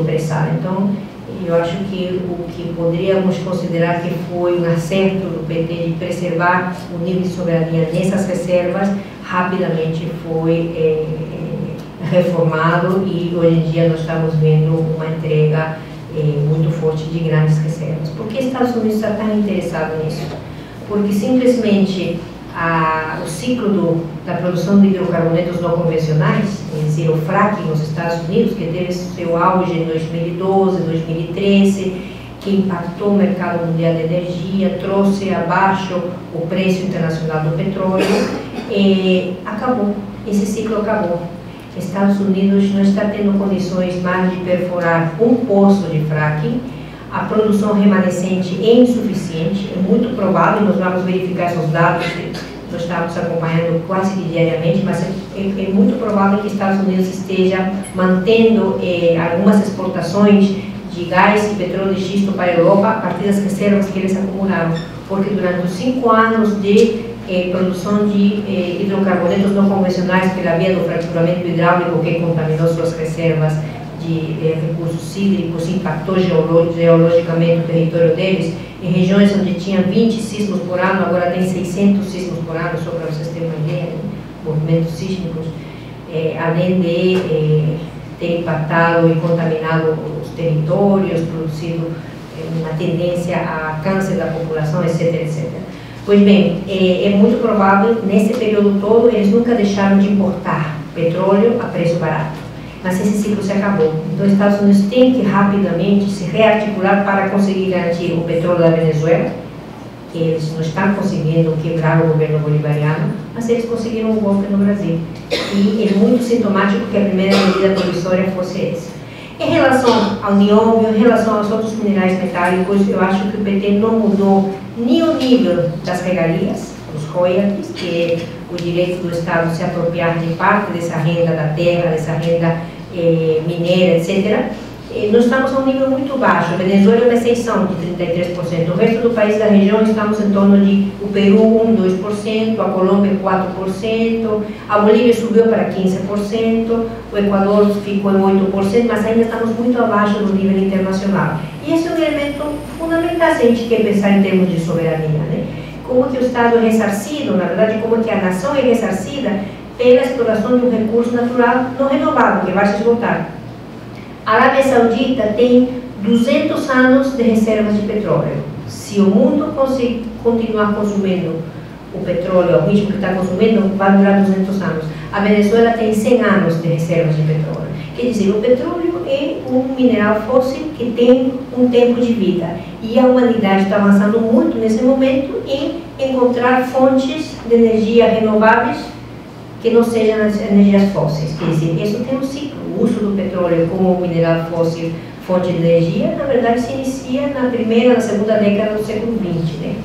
Então tem um ciclo, em algum momento será superado e acho que esse momento está mais próximo do que eh, imaginamos. Em relação às reservas, eh, as reservas indígenas e como essas, elas se gerem, eu desconfio muito que o fato de manter reservas indígenas em regiões que têm alta, eh, reservas importantes de nióbio e outros minérios, tenha alguma coisa a ver com proteger os direitos indígenas. Eu acho que por trás disso estão interesses muito mesquinhos né, de alguns grupos de poder que gerem esses recursos e que têm interesses particulares. Eu acho que essa é uma questão que a gente deve avaliar à luz multidimensional de uma análise que tenha em conta eh, a legislação do país, os interesses do governo de turno e a forma em que tem se gerido normalmente eh, esse tipo de reservas de recursos naturais estratégicos, que incluem eh, a, a, biodiversidade, as plantas, eh, grafito, que são usadas para fitoterapia, a Amazônia é uma farmácia viva, uma drogaria viva, tem uma quantidade de elementos e nós continuamos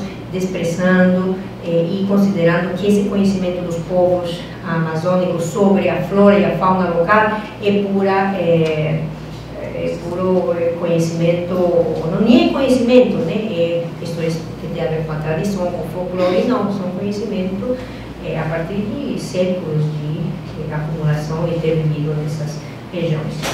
Enfim, em relação ao que uh, colocava o colega Danilo Carneiro sobre eh, a importância de uma visão de classe nesse processo e a dinâmica do capitalismo eh, nessa disputa global por recursos naturais estratégicos. Eu acho, eu concordo com as questões que você colocou. Eu acho que essa dinâmica de acumulação do capitalismo é, tem, num, pelo menos numa dimensão desse capitalismo, uma, uma sorte de esquizofrenia. É um capitalismo que leva até as últimas consequências a sua gestão privada, a sua enorme capacidade de devastação, e esse mesmo capitalismo que foi capaz de produzir grandes avanços científicos e tecnológicos para é, aprofundar a capacidade de produção das forças produtivas, para elevar a produtividade das forças produtivas, é um capitalismo que chega a um nível de esquizofrenia de ameaçar destruir a própria base material onde ele produz, onde ele pode se acumular, onde ele pode se reinventar. Eu acho que esse é um problema muito grave. Um capitalismo mais lúcido teria muito mais cuidado com o que está sendo feito a nível global em termos de devastação ambiental em todos os níveis. Né? No nível da produção, no nível da, da, da, forma de vida, no nível de consumo de energia, no, no nível eh, da, da, devastação de certas tecnologias, grande parte das tecnologias que se usam eh, na mineração, na produção, na agroindústria, etc. etc. Eu acredito que eh, quem acreditava, por exemplo, que a China, que desde minha visão se aproxima mais a um capitalismo de Estado do que a um socialismo, é só nessa 19 eh, Assembleia Geral do Partido Comunista eh, Chinês que eles, Xi Jinping, que já é reconhecido como uma grande liderança pós-mal, propõem que nos próximos 20 anos a China tem um objetivo fundamental, que é, é dar conteúdo aquilo que ele chama o socialismo com características chinesas. O socialismo com características chinesas que é, de um lado, a condução do Partido Comunista Chinês e a condução do Estado chinês e seu sistema centralizado de planejamento. Esse socialismo com características chinesas, que é grande, o grande objetivo da China para os próximos 20 anos, terá grande contribuição não apenas à China, nas palavras de Xi Jinping, mas será uma grande contribuição à humanidade toda, porque ele diz: vamos tirar o brilho e a capacidade de sedução do capitalismo como modo de organizar a produção, como modo de produção. Então aí eles planteiam um desafio, acho interessante a gente estudar e ver de perto o que, que está sendo feito. Uma coisa é o discurso, outra coisa são os passos que você dá para levar adiante esse discurso. Até agora, os chineses têm demonstrado uma capacidade enorme de planejamento. Os planos, como disse o próprio Xi Jinping, o bom plano é aquele que se desenha e é levado à prática até as últimas consequências. Esse é o bom plano. Né? Isso é uma coisa que faz parte da tradição, que já dizia Sun Tzu, quando colocava o plano do que significa eh, evitar a guerra como combate real a partir da dissuasão. A China, nesse momento, é o segundo investimento mundial em armas, depois dos Estados Unidos. 10, 15% do gasto mundial em armas e na indústria armamentista é chinesa. Acredito que a China interesse uma guerra mais no mundo, mas provavelmente faça parte da política de dissuasão. Estados Unidos continua sendo 50% do gasto mundial. Mas eu queria voltar a esse tema. Quem acreditava que a China, o grande desenvolvimento chinês, já desde os anos 2002, 2003, 2005, quando eles mostravam uma taxa de crescimento sistemática de quase 10%, era devido ao trabalho escravo, estava totalmente equivocado. Hoje em dia já ninguém eh, se atreve a, colocar essa, esse argumento né, de que a China tem trabalho escravo e por isso que os produtos são tão baratos. Na verdade, tratava-se de alguma coisa que Marx já dizia há muito tempo atrás, é a mais-valia relativa. A partir do desenvolvimento científico e tecnológico, a capacidade de elevar a produtividade do trabalho, de diminuir o trabalho socialmente necessário e, portanto, isso vai produzir uma queda crescente dos preços.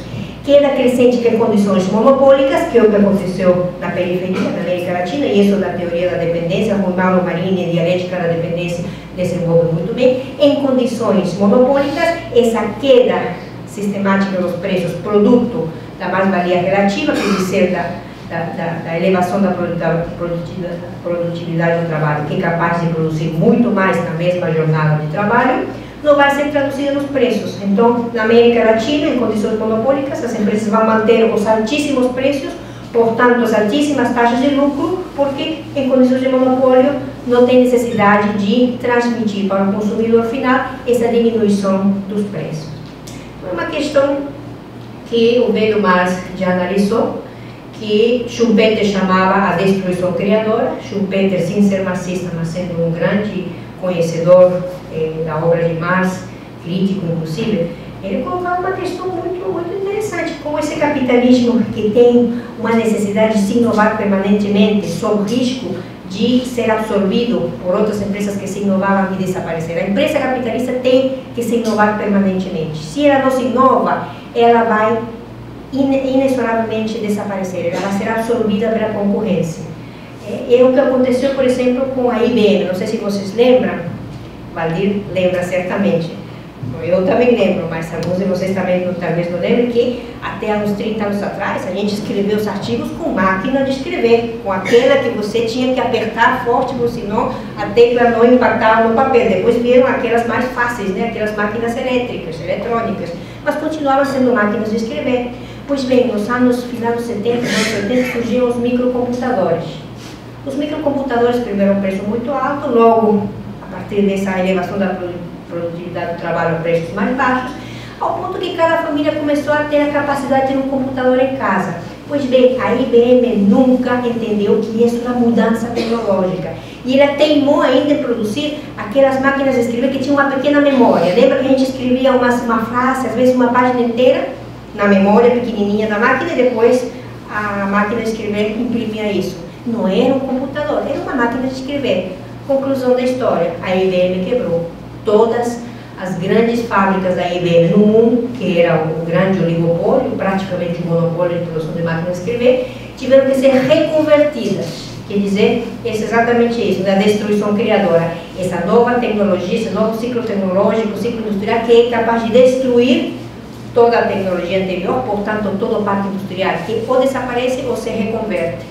A IBM voltou já à microcomputação, muito em desvantagem, já na, na final da fila, já quando tinha entrado outras empresas se posicionado e tentou então eh, iniciar uma linha de produção de microcomputadores, mas tendo sido absorvido e retirado sua condição de monopólio por aquilo que mais chamava a mais-valia relativa, que Schumpeter completa como a destruição criadora do capitalismo, que tem essa voracidade por inovar permanentemente como única garantia de subsistir nos mercados, mas que em última consequência é capaz de destruir a base material, a natureza e o planeta no qual vivimos e no qual produzimos. Então, essa é a grande contradição do capitalismo, a grande crise eu acho que não, temos, não podemos baixar a guarda, não é que isso leve a uma crise final. O capitalismo tem mostrado também uma capacidade de se reorganizar, se reoxigenar muito, é, muito habilmente. Eu acho que nós temos que ter uma avaliação muito precisa de qual é a dinâmica e essa tendência do capitalismo mundial se nós queremos desenvolver estratégias que realmente levem a uma mudança radical para um outro estadio de desenvolvimento da humanidade e um outro modo de produção.